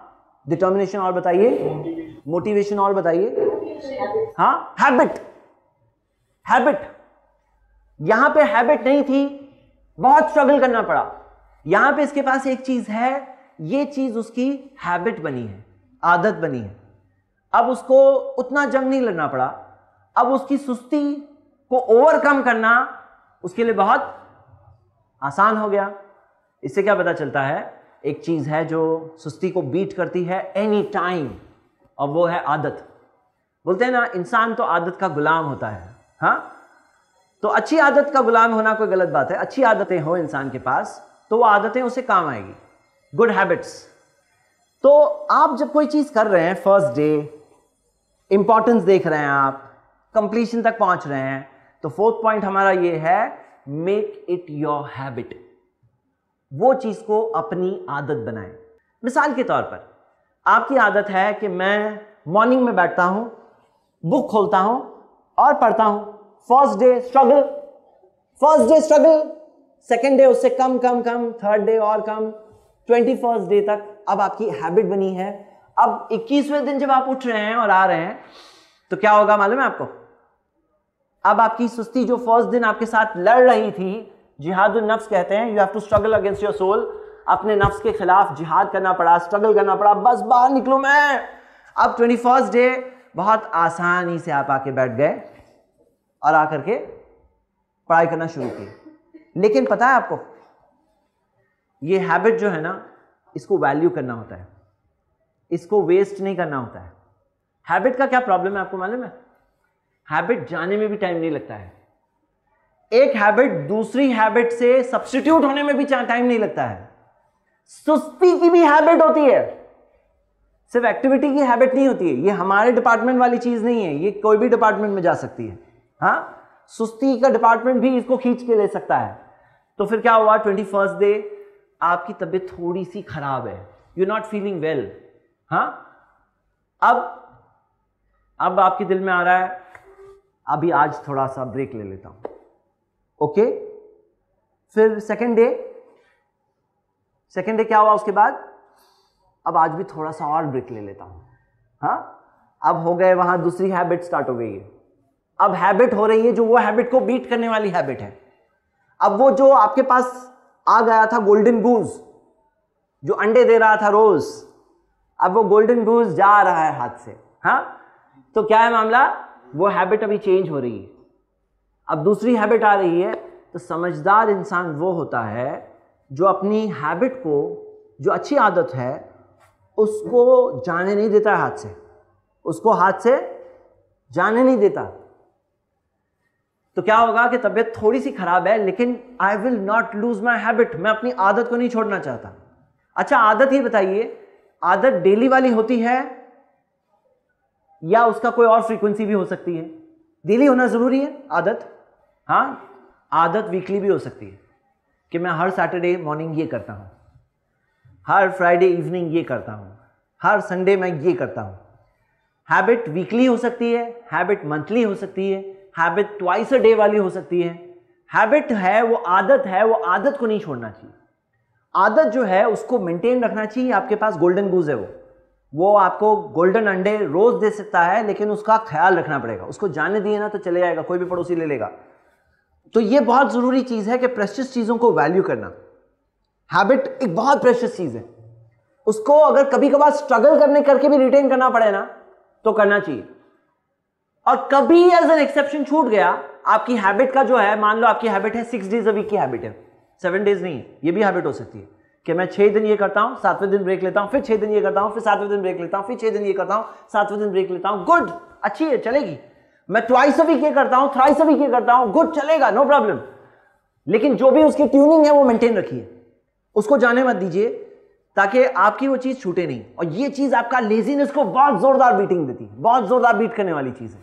ओके ये हो गया हमारे फोर्थ पॉइंट फ़र्स्ट पॉइंट क्या था? Small steps first goal small step second most important things first easiest first नहीं हमारा goal tell yourself easiest first हमारा गोल नहीं है. मोस्ट इंपॉर्टेंट थिंग फ़र्स्ट हमारा गोल है. ओके थर्ड कंप्लीशन की आदत डालें. Completion fourth make it a habit आदत बनाना. हाँ? इसे आदत बनाना ये बहुत ज़रूरी है. ये हमने जो चार चीज़ें देखे ये है गेट सेट गो का हिस्सा. अब आते हैं पांचवी चीज़ पर. आप ये जो चार कर रहे हो ना जब तक आपके अंदर ये पांचवी चीज़ नहीं है तो तब तक आप इंजॉय नहीं करोगे। और वो है इंजॉय करो। मतलब आप जो कर रहे हो you should enjoy doing what you're doing जो आप कर रहे हो, उसको इंजॉय करो। और जब तक आप इंजॉय नहीं करोगे, तब तक ये चीज़ आपको सचमुच बहुत बड़े तौर पर अचीवर बनने में बैरियर है ये, बहुत बड़ी मुश्किल है। अब वो चीज़ कैसे होगी, बहुत ज़रूरी है कि आपको पहुँचना है इस मंजिल तक। आपने कुछ ख्वाब देखे, कुछ गोल्स रखे, कुछ अपने आप को मोटिवेट किया। तो ये जो मोटिवेशन से एक इंटरेस्ट और इंजॉयमेंट पैदा हो, यहाँ पे तो एक बात है। लेकिन मैं आपको एक बहुत फंडामेंटल बात बताना चाहता हूँ। एक इंसान क्यों लेजी होता है? जो लेजी होता है, वो क्यों लेजी होता है मालूम है? वो जो स्टेट में है, उस स्टेट से एक्टिविटी के स्टेट में जाने में डिफिकल्टी है। आराम से काम तक आना मुश्किल है उसमें। उसी तरह आप देखिए कि कोई चीज़ करने में कुछ ना कुछ तकलीफ़ होती है। देखो, लेजी इंसान आखिर में लेजी क्यों है? क्योंकि उसको आराम चाहिए। आराम तलबी भी कहा जाता है। हाँ लविंग टू बी आराम से मतलब बहुत एक पसंद करता है इंसान कि मैं आराम से रहूँ। ज़िंदगी का उसका एक गोल होता है, आराम करूँ मैं। तो यहाँ क्या मामला है कि ये जो उसकी लेजीनेस में वो लेजी इंसान लेजी क्यों है? लेजी इंसान लेजी इसलिए है क्योंकि उसके अंदर आराम तलबी है। तो काम करने में कुछ ना कुछ तकलीफ़ होती है ना। वो तकलीफ़ को क्या करना चाहिए? बर्दाश्त करना चाहिए। बर्दाश्त करना चाहिए। तकलीफ़ जो होती है तकलीफ़ होती है ना उसे बर्दाश्त करेंगे नहीं करेंगे? करेंगे कि नहीं करेंगे? करेंगे नहीं करेंगे? करेंगे। वो तकलीफ़ को इंजॉय करिए तब आप सक्सेस तक पहुँचेंगे वो तकलीफ़ को इंजॉय करिए। ये है फॉर्मूला मालूम है आपको? अचीवर्स का ये फॉर्मूला है they have to enjoy that difficulty आपको मैं दो तीन मिसाल दूँगा। नमाज़ पढ़ने जाते हैं। अब कुछ ना कुछ तकलीफ़ तो होती है। एक शख्स नमाज़ पढ़ रहा है, खड़े हो रहा है he has to do certain posters कुछ ना कुछ तकलीफ़ तो ऑब्वियसली है। लेकिन वो तकलीफ़ क्या कोई ऐसा करता है वो तकलीफ़ हो रही है, नमाज़ पढ़े या फिर अच्छा लग रहा है। सुकून आ रहा है। हाँ? दिल को बहुत अच्छा लग रहा है। दिल को सुकून मिल रहा है। सर को ज़मीन पे जब रखता हूँ, दिल को सुकून मिल जाता है कि मेरा सर मेरे रब के आगे झुका हुआ है। ही इज़ इंजॉइंग इट और जब तक वो इंजॉय नहीं करे ना, वो उसमें सक्सेसफुल नहीं हो पाएगा। रोज़ा रख रहे हैं। तकलीफ़ है कि नहीं है उसमें? तकलीफ़ है या नहीं है रोज़े में? है? है, लेकिन इंजॉय करते हैं। अच्छा लगता है। इफ्तार के वक्त जब बैठते हैं, बहुत अच्छा लगता है ना? वली स्वामी फरहतानी। रोज़ेदार के लिए दो खुशी के वक्त होते हैं। फ़रहतुन हीना युफ्तिरु। पहला खुशी का वक्त जब इफ्तार करता है। वह फ़रहतुन हीना यलका रब और दूसरा खुशी का वक्त जब अपने रब से मुलाकात करेगा। सही मुस्लिम की हदीस। खुशी होती है। हज करने जाते हैं। कितनी सारी हार्डशिप्स, कितनी सारी तकलीफ़। लेकिन वहाँ जाते हैं, उम्र कर रहे हैं, तवाफ़ कर रहे हैं। तो इतने सारे लोग, इतने सारे कल्चर्स तवाफ़ कर रहे हैं। क्राउड है। लेकिन बहुत अच्छा लगता है। बहुत अच्छा लगता है। ये जब तक इंजॉय नहीं करो ना तो तब तक नहीं कर सकते। तो हम फॉर्मूला ये ले रहे हैं फिफ्थ फॉर्मूला वो है कि इंजॉय दिस हार्डशिप ये तकलीफ़ को बर्दाश्त सिर्फ़ मत करो। बर्दाश्त तो करना पड़ेगा, लेकिन सिर्फ़ बर्दाश्त मत करो, उसे इंजॉय करो। तकलीफ़ को tell this to yourself अपने आप को ही बोलो कि मैं तकलीफ़ को भी इंजॉय करूँगा। हाँ और जब करेंगे ना जब आपके ऊपर लेजीनेस तारी आए हो और लेजीनेस इंसान पे आती है, देखिए ये सब दुनिया के अंदर, ये सब सेंटिमेंट्स इमोशंस है, सबके साथ होते हैं। कोई भी ऐसा नहीं मिलेगा कंप्यूटर प्रोग्राम है मोबाइल का ऐप है रोबोट है। नहीं रोबोट्स नहीं हम लोग। हम लोग इंसान हैं, हम लोग कमज़ोर होते हैं। हम लोगों को ये सब चीज़ से डील करना पड़ता है। तो आप ये वर्कशॉप अटेंड करने के बाद आपको लेजीनेस आएगी, नहीं आएगी? आएगी, इंसान है आप लोग। लेकिन हम सब इंसान हैं। लेकिन जब लेजीनेस आए और लेजीनेस से आप एक्टिविटी की तरफ़ बढ़ रहे हो इंजॉय करो उसे। अपने आप को क्या बोलोगे? अपने आप को क्या बोलोगे? ओ करना पड़ेगा। किसी को बोलोगे नहीं। लोग पूछते ना, क्या ओ करना पड़ रहा है ये? हाँ? जो लोग बोलते हैं ना कि, मैं ये करना पड़ रहा है। रो रो के क्यों जी रहे हो भाई? कम आउट ऑफ़ दैट बाहर निकलो स्टेट से। इंजॉय करो। हाँ? मर मर के मत जियो। इंजॉय करके जियो। इंजॉय वॉट यू डूइंग और जब आप इंजॉय करोगे you really come out of laziness बहुत इजीली स्मूथ हो जाएगा प्रोसेस आपका स्ट्रगल इंजॉय करने से इजी हो जाता है. तो ये पाँच स्टेप्स थे. गेट सेट गो के अंदर. फ़र्स्ट स्टेप क्या था? स्मॉल पहला goal small achievable इंशाला one step at a time लेंगे. पचास स्टेप एक साथ में नहीं. One step at a time second चीज़ क्या है? मोस्ट इंपॉर्टेंट थिंग्स फ़र्स्ट ये एक पॉइंट ही इतना इंपॉर्टेंट है अगर आपके दिमाग में एक चीज़ चली गई है ना आई टेल यू आप ऐसे ही 99 परसेंट पब्लिक से आगे होंगे, क्योंकि लोग, अक्सर लोग यही है जो ये फॉलो नहीं करते हैं। Most important things first third point क्या है? कंप्लीशन आदत क्या बनाओ? कंप्लीशन फोर्थ पॉइंट क्या है? मेक इट अ हैबिट सुस्ती को बीट करने वाली चीज़ क्या है? आदत. आदत बीट कर देती है सुस्ती को। कोई भी आदत हो आदत बुरी भी बनती है, आदत अच्छी भी होती है। अगर आपके पास ऑलरेडी कुछ आदतें हैं तो उनको वैल्यू करो। और आदत नहीं है तो आदत बनाओ क्रिएट करो। ज़्यादा टाइम नहीं लगता है, थोड़े दिनों में आदत बन जाती है। हम इंसान है ही ऐसे ओके okay? और number five enjoy what you're doing हाँ? इंजॉय द डिस्कम्फर्ट तकलीफ़ को इंजॉय करो। इंशाला चलिए। अब हमने स्टार्ट जो किया था फ़र्स्ट पॉइंट क्या था हमारा? इंटेंशन इंटेंशन नहीं है ना, सब फॉर्मूलाज फेल पहला पॉइंट क्या है? इंटेंशन नोइंग योर सेल्फ सही आइडेंटिफिकेशन सेकेंड पॉइंट क्या था? प्लानिंग हमारा प्लानिंग का स्टेज थर्ड पॉइंट क्या है? जिसे मैंने कहा गेट सेट गो इसके अंदर हमने पाँच चीज़ें देखे. अब ये सब कर रहे हो ना फोर्थ स्टेज हम सिक्स तक जाने वाले ज़्यादा दूर नहीं. मिडवे आ चुके हैं, बल्कि मिडवे क्रॉस कर चुके हैं हम. फोर्थ स्टेज अब ये शख्स काम कर रहा है। Now he is no more that lazy person अब ये काम करने वाला शख्स है। बहुत बड़ा चेंज आ चुका है। अब क्या होता है मालूम है? काम करते करते कुछ चीज़ें हैं जो उसे लेजी बनाती है। काम करते करते लेजी बनाती है। उसमें फ़र्स्ट थिंग ये है नॉट टेकिंग ब्रेक्स आइडेंटिफाइड है साइकोलॉजिस्ट ने इस बात को साबित किया है। अगर कोई शख्स लंबे टाइम तक विदा ब्रेक का काम करता है, वो उस काम से उकता जाएगा, वो उस काम से बोर हो जाएगा और फिर वो लेजीनेस में पहुंचेगा। तो काम के अंदर एक रूल है टेक सफिशिएंट ब्रेक्स उसके अंदर ब्रेक्स लेना। और कई बार क्या होता है, लोग ये समझते हैं कि ये असर की नमाज़ का वक्त आ गया, बीच में। अभी असर से वापस आए, थोड़ा काम किए मगरब की नमाज़ का वक्त आ गया। और अभी थोड़ा काम किए ईशा की नमाज़ का वक्त आ गया। तो हम क्या देख रहे हैं? उन्हें लगता है कि ये डिस्टर्बेंस है, ये डिस्टर्बेंस नहीं है। ये रीजुबिनेशन है। जब आप जा रहे हो ऑब्वियसली वहाँ पे ब्रेक के अंदर आप फ्रेश होना होगा आपको। बिकॉज़ प्रॉफिट मोहम्मद वसल्लम ने कहा कि नमाज़ वैलिड नहीं होती है अगर किसी को टॉयलेट जाना है तो हाँ? तो ऑब्वियसली अपने आप को वो बाथरूम जाके फ्रेश होगा। उसे वज़ू करना है। वज़ू करने में पानी जब स्प्लैश होगा, जब नमाज़ के अंदर वो पोस्चर्स में खड़े होगा अलग अलग पोस्चर्स करेगा तो ब्लड सर्कुलेशन बेटर होता है। वो उसके लिए रीजुबिनेशन है। और प्रॉफिट मोहम्मद सल्लल्लाहु अलैहि वसल्लम ने कहा कि अल्लाह कहता है, तफर्रग ली इबादती, अपने आप को फारिग कर फ्री कर मेरी इबादत के लिए। मैं तेरे दिल को इत्मीनान से भर दूँगा और तेरी गरीबी को दूर कर दूँगा।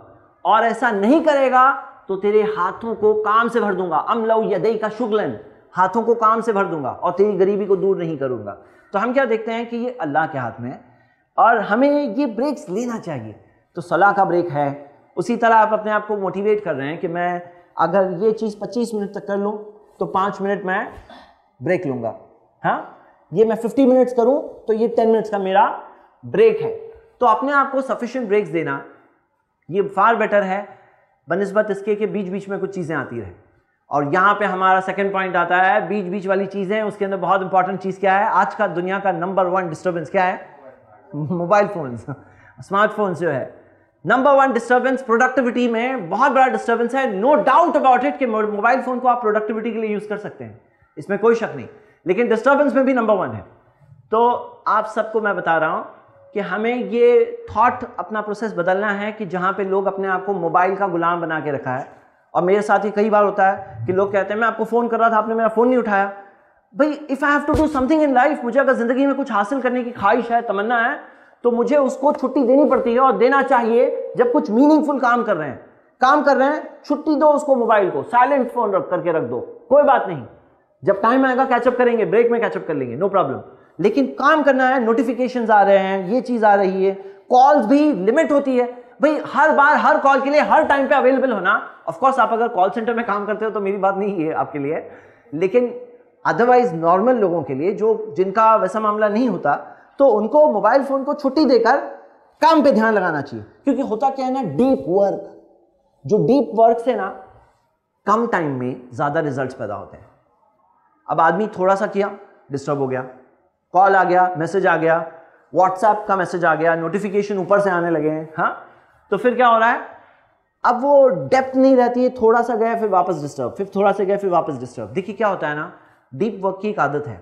अगर हम डीप काम करने की आदत बनाएँ कि पूरे कंसंट्रेशन से कोई चीज़ के अंदर घुस जाओ। अंदर घुस के सोचो, दिमाग से, ध्यान से, हाथों से, पूरी एबिलिटीज के साथ काम करो। फिर देखो कैसे अचीव नहीं होता है। यू इंजॉय डूइंग इट बल्कि ये बार बार डिस्टर्बेंस से क्या होता है कि आदमी की प्रोडक्टिविटी अफेक्ट होती है, उसका कॉन्सेंट्रेशन अफेक्ट होता है, उसकी ख्वाहिशें, उसकी प्रॉब्लम्स होते हैं। फाइनली वो जा रहा है अपने सुस्ती वाले मोड में बाहर, वापस। जहाँ से बाहर निकल के आया था, बहादुरी से, वो वहीं की तरफ़ वापस पुश हो रहा है, वापस धक्का मारती है ये सब चीज़ें। तो उसको कंट्रोल करना बहुत ज़रूरी है। उसका टाइम रखो, उसका एक टाइम जोन रखो, लेकिन उसके बाद में काम के टाइम पे you have to put a stop to this ये बहुत ज़रूरी है। आप देखिए कितनी जगहों पे ये प्रॉब्लम है। एम्प्लॉयज़ बैठे हैं मोबाइल के साथ, काम भी कर रहे हैं मोबाइल में चैट भी कर रहे हैं। इसकी वजह से बहुत प्रॉब्लम्स क्रिएट हो रहे हैं, बहुत सारे प्रोडक्टिविटी प्रॉब्लम्स क्रिएट हो रहे हैं। और इसमें डिफिकल्टी ये होती है कि कैसे रेगुलेट करें, कैसे रेगुलेट करें, ये बहुत ज़रूरी है। तो ये हो गया हमारे डिस्टर्बेंसेस को डील करना। हाँ डिस्टर्बेंसेस को डील करना। इसमें हमने दो चीज़ें देखे। फ़र्स्ट है ब्रेक्स सेकेंड है डिस्टर्बेंसेस मतलब ये है ड्यूरिंग द वर्क ये हमारा फोर्थ स्टेज था। फ़र्स्ट स्टेज क्या था? Intention without an intention good intention नहीं हो सकता। आइडेंटिफिकेशन नॉलेज प्लान बहुत ज़रूरी है। अवेयरनेस था इसमें। अवेयरनेस बहुत ज़रूरी थी। Number two planning stage planning stage में हमने क्या किया? हाँ हमने क्या किए? गोल बनाए।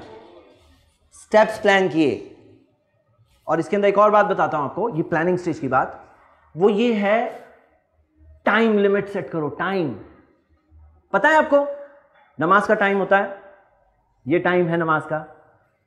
जक़ात देने का टाइम है कि नहीं है? साल में एक बार। हम्म? कौन सा साल?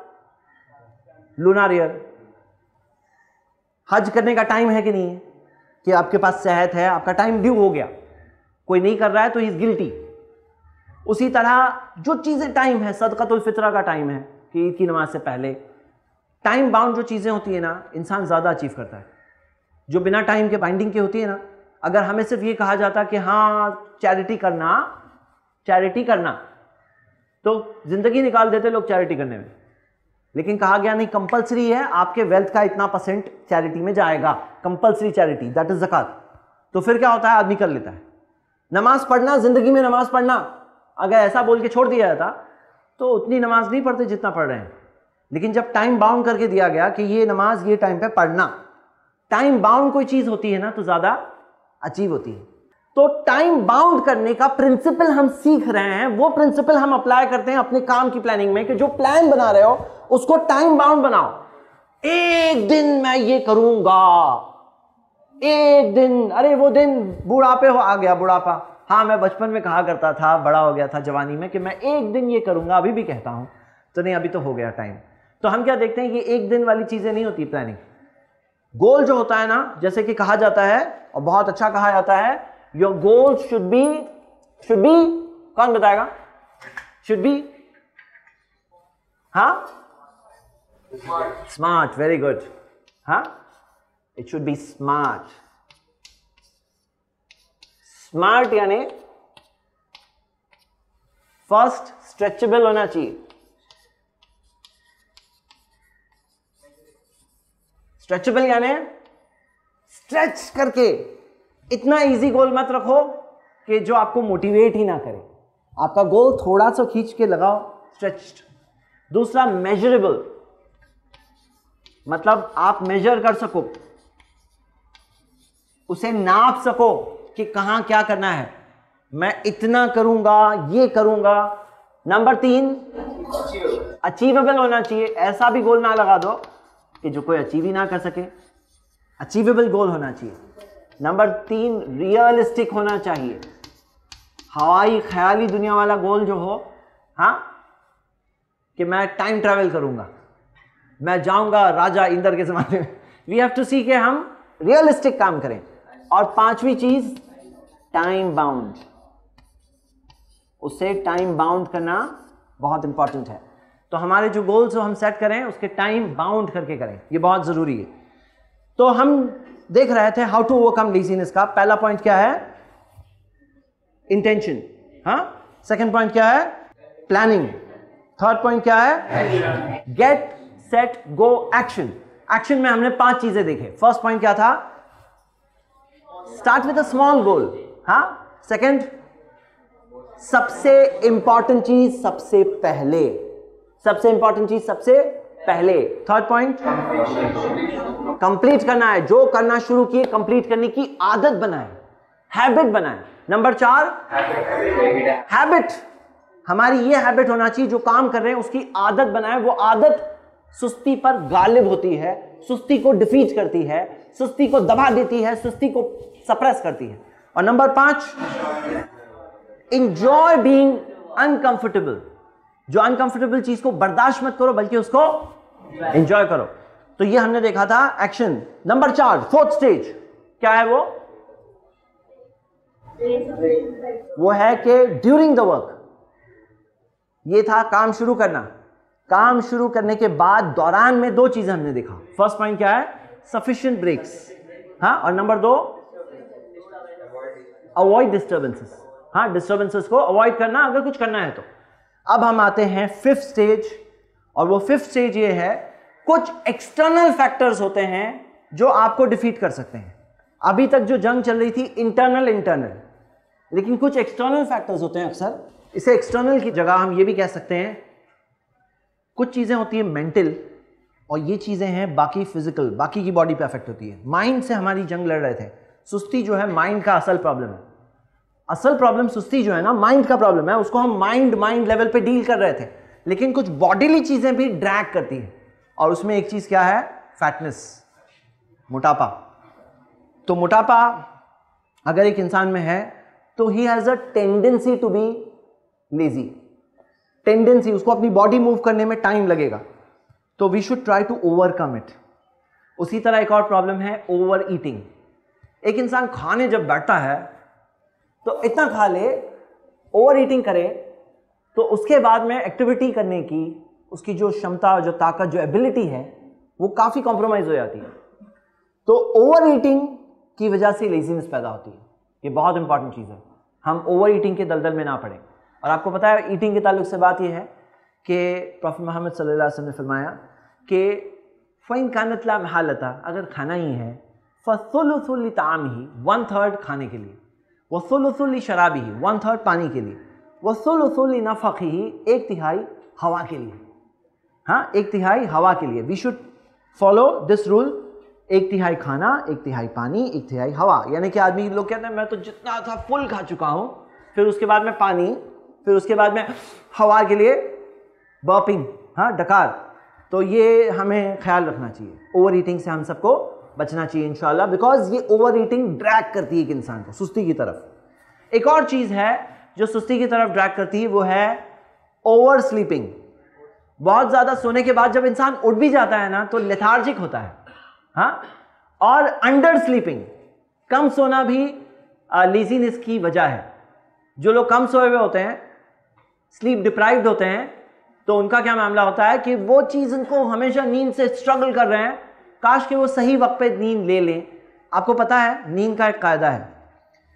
नींद कम घंटों में भी आप ज़्यादा आराम कर सकते हैं और कई बार ज़्यादा घंटों में कम आराम मिलता है। कैसे उसकी स्पेसिंग होती है, वो बहुत ज़रूरी है। रात का जो बिगनिंग का हिस्सा है, वो ऐसा वक्त होता है कि उन कम घंटों में ज़्यादा आराम मिलता है। और मॉर्निंग के बाद जो वक्त है, उसमें ज़्यादा वक्त में भी कम आराम मिलता है। तो हम देखते हैं कि इस ताल्लुक से एक हदीस है सही बुखारी की। काना यक रहनौमा कबल लिशाई वल हदीस बादह कि नबी सल्लल्लाहु अलैहि वसल्लम रात में ईशा की नमाज़ के बाद लोगों से खड़े होकर बातें करना पसंद नहीं करते थे। और ईशा से पहले सोना ना पसंद करते थे। ईशा के बाद में लोगों से बात करना ना पसंद करते थे। मतलब he used to not like to socialize with people लोगों के साथ खड़े होकर बातें करना आफ्टर ईशा सलाह जनरली और जल्दी सोना उनकी हैबिट थी और सुबह में बहुत जल्दी उठकर नमाज़ पढ़ना उनकी हैबिट थी। उसी तरह एक और हदीस है, जो हदीस हमें मिलती है, सिलसिला हदीस सही हमें ऑथेंटिक सनत से है, जिसके अंदर आता है, कीलू फ़ैन शयातीन अला तकीलू। आफ्टरनून में एक नैप ले लो, क्योंकि शयातीन कैलुल्ला आफ्टरनून की नैप नहीं लेते हैं। तो हम क्या देखते हैं कि यहाँ पे एक रूल मिल रहा है कि मिड डे में छोटी सी नैप लेने की कोशिश करो। अर्ली मॉर्निंग उठने की आदत बनाओ। मिड डे में छोटी नैप ले लो। तो यहाँ क्या होता है, ये पावर नैप्स की वजह से आदमी रिजुविनेट हो जाता है। वो सुबह से उठा हुआ इंसान रात तक स्ट्रगल कर रहा है तो उसका एनर्जी लेवल कहीं पे जाके कम होने लगता है, कहीं पे जाके लेजीनेस उसमें आने लगती है। तो क्या चीज़ उसे बचाती है? वो है ये सही एक पावर नैप लेना, दरमियान में कैलोला करना छोटी सी नैप ले लेना भले फिर पंद्रह मिनट क्यों ना fifteen minutes to thirty minutes is sufficient पंद्रह से तीस मिनट बहुत है पूरी बॉडी को रिजुविनेट करने के लिए। कैसे हम लेजीनेस को ओवरकम कर सकते हैं? उसमें एक बहुत इंपॉर्टेंट ये रूल है, वो है सही वक्त पे स्लीप करना, कम वक्त में ज़्यादा आराम करना।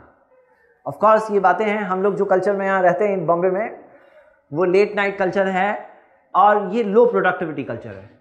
ज़िंदगी की प्रोडक्टिविटी बहुत कॉम्प्रोमाइज़ होती है, ये लेट नाइट कल्चर से। अर्ली मॉर्निंग कल्चर से ज़िंदगी में प्रोडक्टिविटी पैदा होती है। अगर आप सारी वेस्टर्न कंट्रीज़ की तरफ़ देखें, जहाँ पे अच्छा प्रोग्रेस और अचीवमेंट्स है, वो लोगों ने ये मॉर्निंग के टाइम को कैच किया है। वहाँ पे अर्ली मॉर्निंग काम शुरू होता है इवनिंग में जल्दी खत्म हो जाओ। नो प्रॉब्लम लेकिन काम जल्दी शुरू होने से प्रोडक्टिविटी दिन की बहुत बढ़ जाती है। तो वो टाइम पे सोता रहा कोई तो कर रहा है हम ये नहीं कहते कि फेल हो गया, लेकिन उसने अपने आप को एक चीज़ में माइनस पॉइंट अपने लिए क्रिएट किया। हाँ ओवर ईटिंग किसी का प्रॉब्लम है तो उसके लिए माइनस पॉइंट उसमें आ रहे हैं। कोई ओवर स्लीपिंग यानी रॉन्ग टाइम पे स्लीपिंग करने की आदत है तो वो माइनस पॉइंट तो आ रहा है। भले ही वो बाकी चीज़ों में कवर कर सकता है देर इज़ नथिंग कि वो हार गया।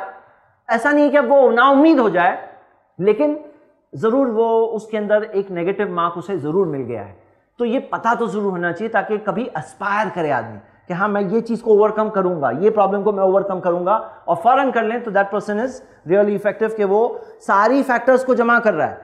सब के सब सिर्फ़ प्लस प्लस प्लस के साथ कर रहा है, कोई भी माइनस उसके अकाउंट में है ही नहीं तो फार इफ़ेक्टिव है, वो बहुत अच्छा है, उसके लिए हासिल करने में ये बहुत अच्छी चीज़ है।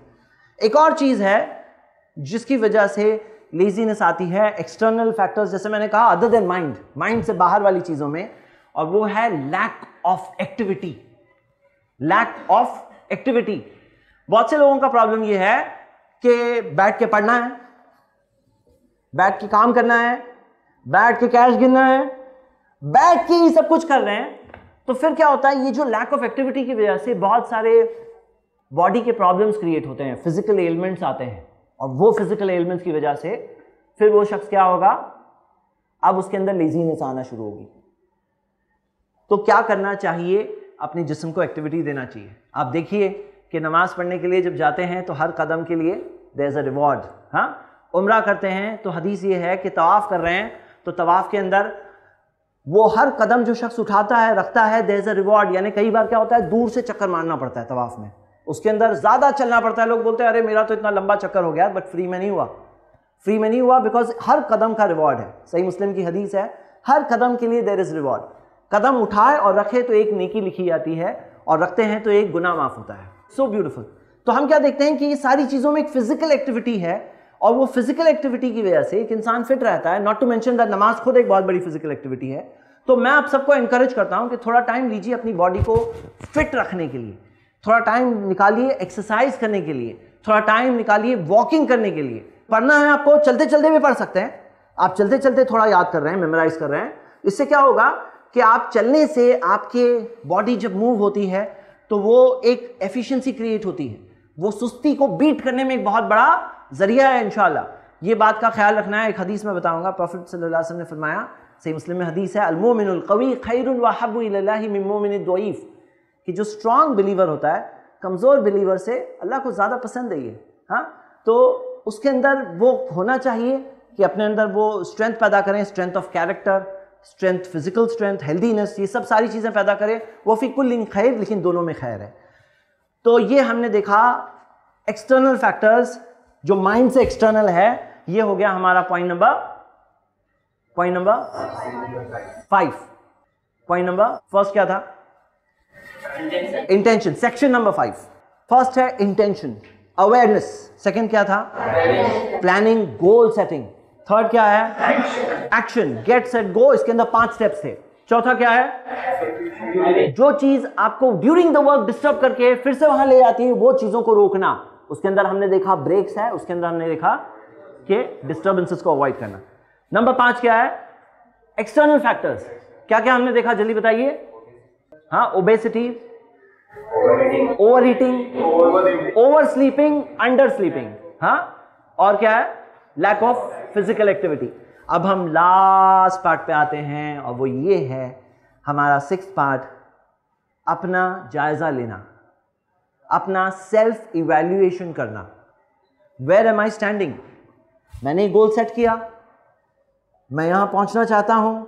वेर एम आई स्टैंडिंग एक वक्त अपने साथ गुजारना और अपने आप से सवाल पूछना कि क्या मैं उस डायरेक्शन में चल रहा हूँ या कहीं और चला गया मैं? कुछ और प्लान पे कहीं और हाईजैक हो गया मैं। तो कई लोग होते हैं जो थोड़े दिन इस तरफ़, फिर थोड़े दिन उस तरफ़, फिर थोड़े दिन उस तरफ़। उनका कुछ एक स्टेडी स्टेटफास्ट गोल नहीं होता। तो अपने आप को ट्रैक पर रखना बहुत ज़रूरी है। प्रॉफिट मोहम्मद वसल्लम ने फरमाया, अहबुल मा सबसे पसंदीदा अमल अल्लाह के नज़दीक वो है जिसमें दवाम है, हमेशगी है कॉन्स्टेंसी है कंसिस्टेंसी है बड़ी थोड़ा सा क्यों ना हो? तो आप उसके ऊपर स्टेड फास्ट हो या नहीं हो? अच्छा ये जो हदीस मैंने कोट की, ये हमारे, ये जो अभी तक जो पॉइंट सुने, उसमें से एक पॉइंट को के ताल्लुक से और री कर रही है। बताइए, कौन सा पॉइंट था? हैबिट हैबिट ना? क्योंकि सबसे पसंदीदा अमल अल्लाह के नज़दीक वो है, जिसमें कॉन्स्टेंसी है, भले ही थोड़ा सा क्यों नहीं तो अमल में ऑफकोर्स रिलीजियस अमल भी आते हैं वर्ल्डी कामों में भी रिज़ल्ट बेटर कब आता है? जब कंसिस्टेंसी होती है, एक शख्स पहलवान बना है, वो कैसे बना? सुबह से शाम तक जाकर एक्सरसाइज करके बाहर में शाम में पहलवान बन के निकला। हाँ कैसे? कंसिस्टेंटली एक्सरसाइज किया। कोई शख्स का माइंड स्ट्रांगर हुआ कंसिस्टेंटली करके। कोई पढ़ाई करके कहीं पहुँचा कंसिस्टेंटली करके। तो ये कंसिस्टेंसी बहुत ज़रूरी है। अपना जायजा लीजिए। एम आई कंसिस्टेंट क्या मैं अपने ट्रैक पे कंसिस्टेंट हूँ, नहीं हूँ? तो अपना मुहासबा करना बहुत ज़रूरी है। ये जायज़ा करने के लिए कई बार खुद कई बार well wishers mentors guides coach कोई हो जो आपका जायज़ा ले बॉस बॉस भी लेता है जायज़ा, क्या गे तुमने हाँ? भले ही बुरा लगे, लेकिन वो हमारी खुद की प्रोडक्टिविटी के लिए अच्छा होता है। तो अपने आप को पूछो, अपने बॉस खुद बन जाओ। आपके ऊपर कोई बॉस नहीं, आप खुद बॉस हो अगर तो आप अपने बॉस खुद बन जाओ और वो अपने आप से सवाल पूछो कि क्या किए हो तुमने हाँ? अपना जायजा लेना बहुत ज़रूरी है। ऑनेस्ट लोग होते हैं जो कन्फ्रंट करते हैं अपने आप को।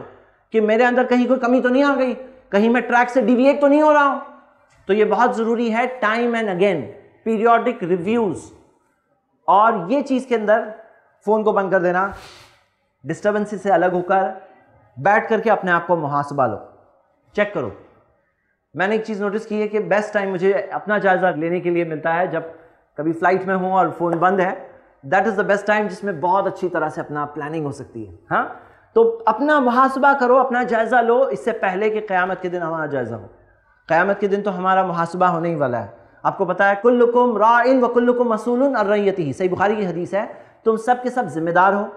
सब के सबको अपने मातहतों के बारे में पूछा जाएगा। तुम्हारे अंडर में जो है ना, उसके बारे में तुम्हें पूछा जाएगा।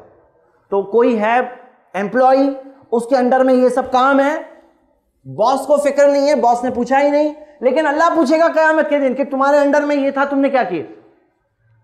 कोई टीचर है, उसके अंडर में स्टूडेंट्स है, प्रिंसिपल ने तो पूछा नहीं, प्रिंसिपल का ध्यान नहीं गया। लेकिन अल्लाह पूछेगा उससे कयामत के दिन कि तुम्हारे अंडर में जो थे, उनके बारे में क्या किए? उसी तरह हमारे पास जो रिसोर्सेज है, जो एबिलिटीज है, मैंने तुम्हें ये दिया, मैंने तुम्हें ये दिया, तुमने क्या किया? कुल मसूलन और रैयत। ही तुम सबके सबको अपने मातहतों के बारे में पूछा जाएगा, और जो नेमतें हैं वो नेमतों के बारे में भी हमें पूछा जाएगा। तो हम ये देखते हैं कि जो चीज़ें हमारे पास है उसका जवाब तो देना है। पहले अपना ही खुद चेकिंग कर लें कहाँ स्टैंडिंग है। अच्छा मैं आपसे एक बहुत फ्रैंक सवाल पूछता हूँ। ये चेकिंग में अगर मालूम पड़ा कि हमसे कमियाँ हो गई हम में कमियाँ थी डिफ़ॉल्ट हो गए फेल हो गए मालूम पड़ा तो क्या करेंगे? ट्राई अगेन वेरी गुड तो अपने आप को हराना मत। अगर फेल हो गए, मालूम पड़ा ना तो कई लोग ये जब करते हैं कि मैं फेल हो गया, वहाँ पे अपने आप को डिफीट कर देते हैं। वहाँ पे हार जाते हैं। करेजिस स्टार्ट थी उनकी, हिम्मत के साथ शुरू किए थे। लेकिन जहाँ उनको पता चलता है ना कि मैं यहाँ पे कम हो गया, मैं फेल हुआ, मायूस हो जाते हैं। हार गए नो प्रॉब्लम आगे बढ़ो। गलत हुआ, बुरा हुआ, लेकिन मायूस मत होना। ट्राई अगेन इंशाल्लाह अपने आप को मत हराओ। जहाँ हरा दिए, वहाँ पे कोई और आपको क्या हराएगा? आप खुद अपने आप को हरा दोगे तो। हराने वाले बहुत होते हैं, मालूम है आपको? बोलते हैं कि तुम तो लूजर हो लूजर उनको फेस करना होता है, उनका सामना करना होता है, लेकिन उनका सामना कैसे करेंगे अगर खुद हम अपने आप को हराएँगे? देखो क्या होता है ना, हारना एक बात है आई लॉस्ट एक बात है। आई एम अ लूजर अलग बात है। क्या फ़र्क है दोनों में?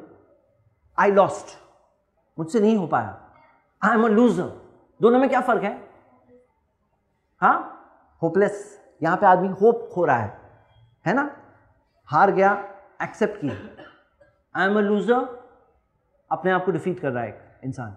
Don't do that with yourself कई लोग लेजी क्यों है ना? क्योंकि वो अपने आप को हराए हुए होते हैं। बोलते हैं कि आई कॉन्ट डू इट मुझसे नहीं होगा।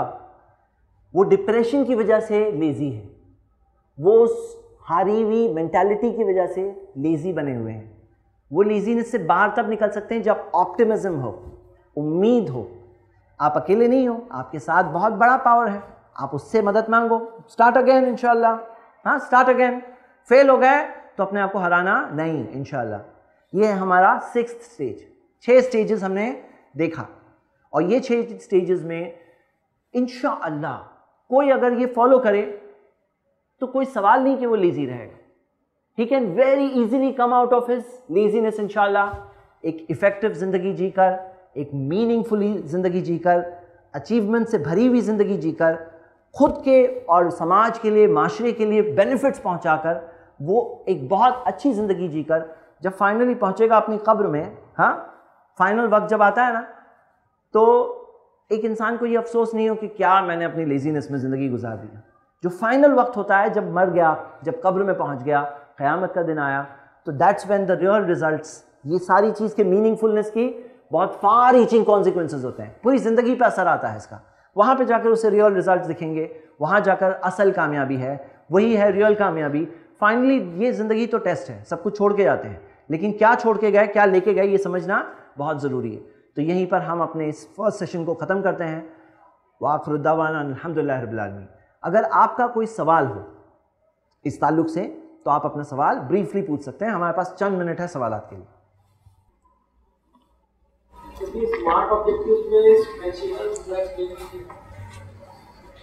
हमारे सामने पहला सवाल आया कि ये जो स्मार्ट हमारे प्लानिंग होनी चाहिए उसमें स्ट्रेचिंग का मतलब क्या है? स्ट्रेच करना। स्ट्रेच करने का मतलब ये है कि आपने ज़िंदगी में गोल ये सेट किया कि मैं ज़िंदगी भर में टेंथ स्टैंडर्ड पास करूँगा। इसे मैन अपना कुछ थोड़ा और स्ट्रेच करो स्ट्रेच करो। क्या गोल सेट कियो आई मीन क्या गोल सेट कियो या मिसाल के तौर पे किसी ने अगर गोल सेट किया कि मैं एक साल के अंदर एक पेज पढ़ लूँगा। हाँ? तो ये बहुत ही लूज है ना? है गोल तो है मेजरेबल भी है अचीवेबल भी है रियलिस्टिक तो डेफिनेटली है टाइम बाउंड एक साल के पीरियड में, लेकिन बहुत ही लूज है। स्ट्रेच करो थोड़ा सा। हाँ एक पेज का गोल बनाना है तो बनाओ कि मैं आधे दिन में एक पेज पढ़ूँगा एक घंटे में एक पेज पढ़ूँगा। उसे स्ट्रेच करके डालो। कोई सवाल है क्विकली पूछिए फिर हम लोग आगे बढ़ेंगे। जी। वालेकुम सलाम। सब लोगों के तो आपने बताया कि गोल है एक आदमी रिटायर हो गया है। तो उसने अपना क्या गोल वेरी गुड माशाल्लाह। Very good goal from our elder sister देखिए ये क्या है कि इन्होंने सवाल क्या पूछा है कि कोई अपनी ज़िंदगी के ये स्टेज पे आ गया है जो रिटायर हो चुके हैं। अब ऑब्वियस बात है, हमेशा हमेशा तो हम लोग रहते नहीं हैं। कोई होता है आजकल सौ साल कोई जिया है हाँ? तुम जियो हज़ारों साल क्या है मामला? तो ये ऐसा तो होता नहीं है। ज़िंदगी की लिमिटेशन है। अब यहाँ तक पहुँच गए, इतना टाइम बचा है तो क्या गोल सेट करेंगे? मैं आपको बताता हूँ, वो एक गोल्डन पीरियड होता है ज़िंदगी का। कोई बोलेगा, भाई, वो स्टेज को आप गोल्डन बोल रहे हैं। मैं आपको बताता हूँ I have good reason to say कि ये गोल्डन अचीवमेंट का पीरियड है। कैसे? क्योंकि अल्लाह के रसूल वसल्लम की एक हदीस है, इन्नमल आमालू बिनियात एक हदीस है। सही बुखारी की एक और हदीस है, इन्नमल आमालू अला खवातिमिहा। आमाल का दारोमदार उनके खात्मे पर है। अब कोई शख्स है, ज़िंदगी भर निकम्मा था, बुरा था। ये रिटायरमेंट स्टेज पे आकर उसको अच्छी अच्छी आइडियाज़ आ गई और अपने आप को रिफॉर्म किया चेंज किया और चेंज करके अच्छा खात्मा मिला। तो ये नहीं दिखाएगा कि उतने साल तक वो बुरा इंसान था, ये दिखाएगा खात्मा किस चीज़ पे हुआ। इजेंट इट जो नौजवान है ना, उसको तो पूरी ज़िंदगी भर अपने आप को संभालना है। लेकिन जो वहाँ पहुँच गया, वो अगर ये सोचे कि क्या मुझे ज़िंदगी में नहीं पता था, कि होता क्या है ना, बहुत से बुज़ुर्ग कहते हैं कि मैं ज़िंदगी भर नहीं किया हूँ, अभी कहाँ करूँ, अभी तो ऐसे ही जाऊँगा मैं खबर में। तो फिर क्या हुआ? फिर वो फेल हो रहे हैं। उन्हें क्या करना चाहिए? पॉजिटिव थिंकिंग ये रखना चाहिए, क्या नहीं पता था मुझे ज़िंदगी भर? मौका है मेरे पास, इतनी अमल करूँगा, पूरे का अजर मिलेगा। हाँ? तो क्या करे इंसान?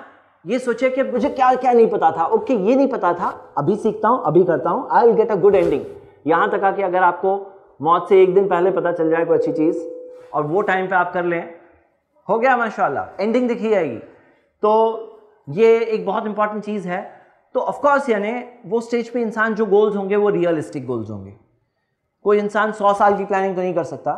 वो उतनी प्लानिंग करें, लेकिन ऑप्टिमिस्टिक प्लानिंग करें कि क्या कर सकते हैं।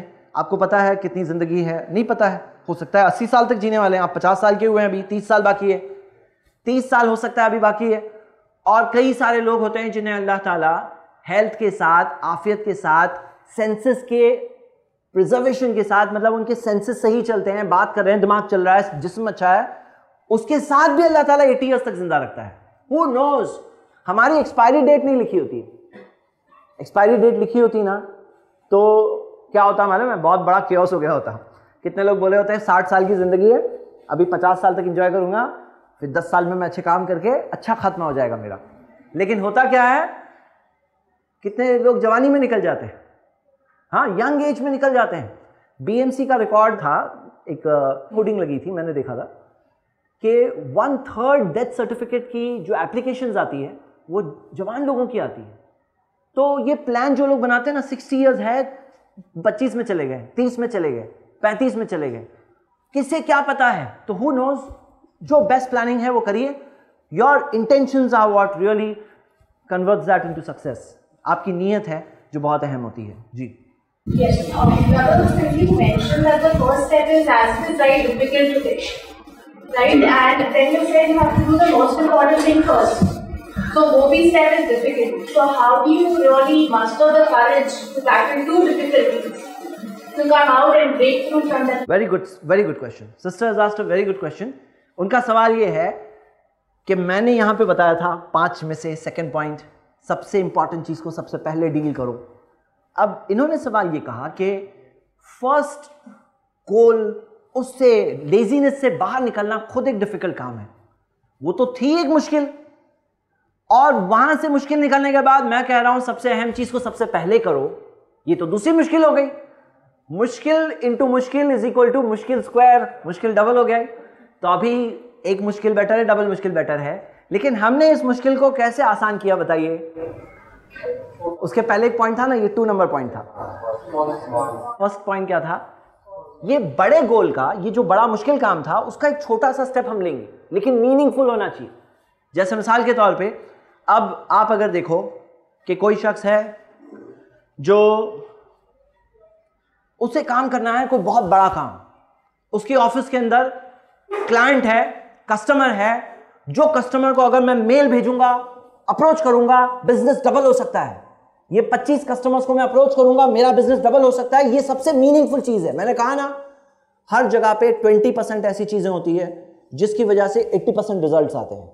अब यहाँ पे एक आदमी अपने ऑफ़िस में बैठा है कि यहाँ झाड़ू नहीं लगा हुआ है। ये भी इंपॉर्टेंट है ना? झाड़ू लगना चाहिए कि नहीं लगना चाहिए? हाँ झाड़ू नहीं लगा हुआ है। और यहाँ पे ये 25 क्लाइंट्स को अगर मैं अप्रोच करूँगा, मेरा बिज़नेस डबल हो सकता है। तो उसे क्या चाहिए? कि कोई काम होगा वो डेलीगेट करेगा, कोई काम होगा जो वो खुद करेगा लेकिन बाद में करेगा फ्री होके करेगा टाइम बचेगा तो करेगा। कोई काम है जो करना ज़रूरी है। तो मोस्ट इंपॉर्टेंट का सबसे छोटा गोल अब ये 25 कस्टमर को कॉल करना है। आज का गोल ये है, मैं लेजी इंसान हूँ, मैं कुछ नहीं करता हूँ। ज़िंदगी निकली जा रही है। बाप दादा ने जो दिया, बस मैं उतने पे हूँ। तो चलो आज मैं एक को कॉल करूँगा। बस एक एक। एक को कॉल कर लिया, मेरा अचीवमेंट आज का यही है। ज़ीरो से वन पे तो आ जाओ। अब वो गोल उसने सेट किया मोस्ट इंपॉर्टेंट का छोटा सा गोल अचीव कर लिए वेरी गुड अब आगे बढ़ो सेकंड गोल हाँ? लेकिन वो ये कहा कि आज मैं इतना झाड़ू मारने का गोल बना रहा हूँ। हालाँकि वही आदमी वो एक कॉल भी कर सकता था, लेकिन उसने अपना गोल बना दिया झाड़ू मारने का, जो वो अपने स्टाफ को बोल सकता था, जो वो बाद में कभी कर सकता था। तो क्या हो गया कि मोस्ट इंपॉर्टेंट थिंग्स जो मीनिंगफुल चीज़ है 20 परसेंट, उस पर फोकस करने में ज़्यादा रिजल्ट्स मिलते हैं ज़िंदगी में। ज़िंदगी में अगर ज़्यादा रिज़ल्ट चाहिए ना और वो सेंस ऑफ़ अचीवमेंट चाहिए तो ये चीज़ ज़्यादा इंपॉर्टेंस रखती है। ये मेरा पॉइंट है। I hope I am able to put it forward the result that is the big thing जब वो चीज़ मिलती है ना भाई इनकम के फिगर्स ऊपर हो गए तो बहुत अच्छा मोटिवेशन मिल रहा है। उसी तरह कोई सिस्टर घर में है एंड शी फेल्ट कि मैंने ये किया this is really getting me great compliments from everyone and this is really giving a turn round in the house तो वो चीज़, जो चीज़ से ज़्यादा फ़र्क पड़ता है डू दैट फ़र्स्ट इंशाल्लाह। It gives a better sense of achievement okay any other question या वील हैव दिस क्वेश्चन बताइए। How to overcome over sleep किसी की आदत अगर हो कि मैं बहुत सोने की आदत है मेरी तो वी से नंबर वन पावर नैप्स आपको पता है? फजर की नमाज़ में बहुत बड़ी मदद मिलती है वो आफ्टरनून की कैलुला से। आफ्टरनून में आप पावर नैप ले रहे हैं ना तो सुबह में आँख खुलने में बहुत मदद मिलती है। स्लीप का एंडिंग टाइम कम हो जाता है क्योंकि आपकी बॉडी रिजुविनेट हो गई थी वहाँ पे दरमियान में। पूरे दिन का स्ट्रेस आपके ऊपर वो टाइम पे नहीं आ रहा है। वो पावर नैप की वजह से आपकी स्लीप पैटर्न रेगुलेट हो रही है। तो ये एक फ़र्स्ट पॉइंट है। सेकेंड जो टाइम है हाँ जो टाइम है, वो टाइम पे सोना।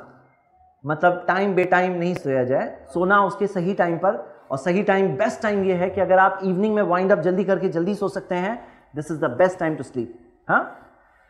Remember you cannot burn the candle at both the ends candle को दोनों एंड से जलाना है।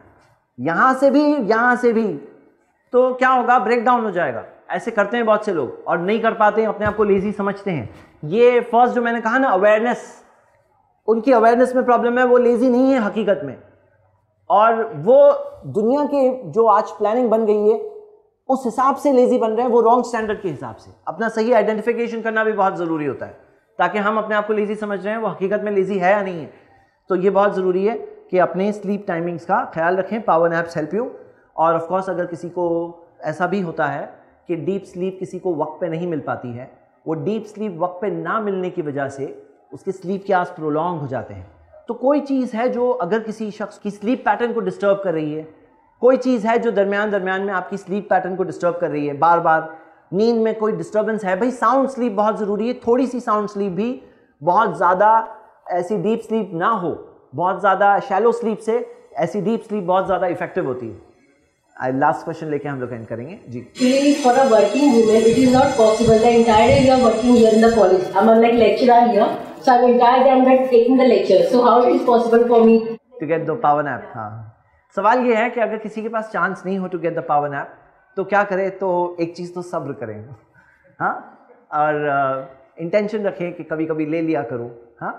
एंड ऑफकोर्स जितना हो सकता है वही करना है। इवनिंग में अगर कोई जल्दी सो जाए तो वो आवर्स बहुत अच्छे होते हैं to cover up good sleep evening के आवर्स मतलब इवनिंग का मतलब रात होता है जी. रात के अर्ली नाइट के आवर्स आगे हमारा एक बहुत इंपॉर्टेंट टॉपिक है, वो है फियर डर. और वो डर को ओवरकम कैसे करें? क्योंकि बहुत से लोगों का ये प्रॉब्लम होता है, वो डरते हैं अलग अलग चीज़ों से. और वो डर की वजह से पैरालाइज्ड बंधे हुए होते हैं. उनका प्रॉब्लम वो सुस्ती शायद नहीं है, उनका प्रॉब्लम होता है डर. तो डर की वजह से बहुत कुछ जो कर सकते हैं, नहीं कर पाते हैं, क्योंकि वो डरते हैं। तो डर को ओवरकम कैसे करें? उसके कुछ फार्मूलाज मैं आपको इंशाल्लाह शेयर करूँगा। वाखरुद्दावाना दवाना अलहमदिल्ला रबालमीन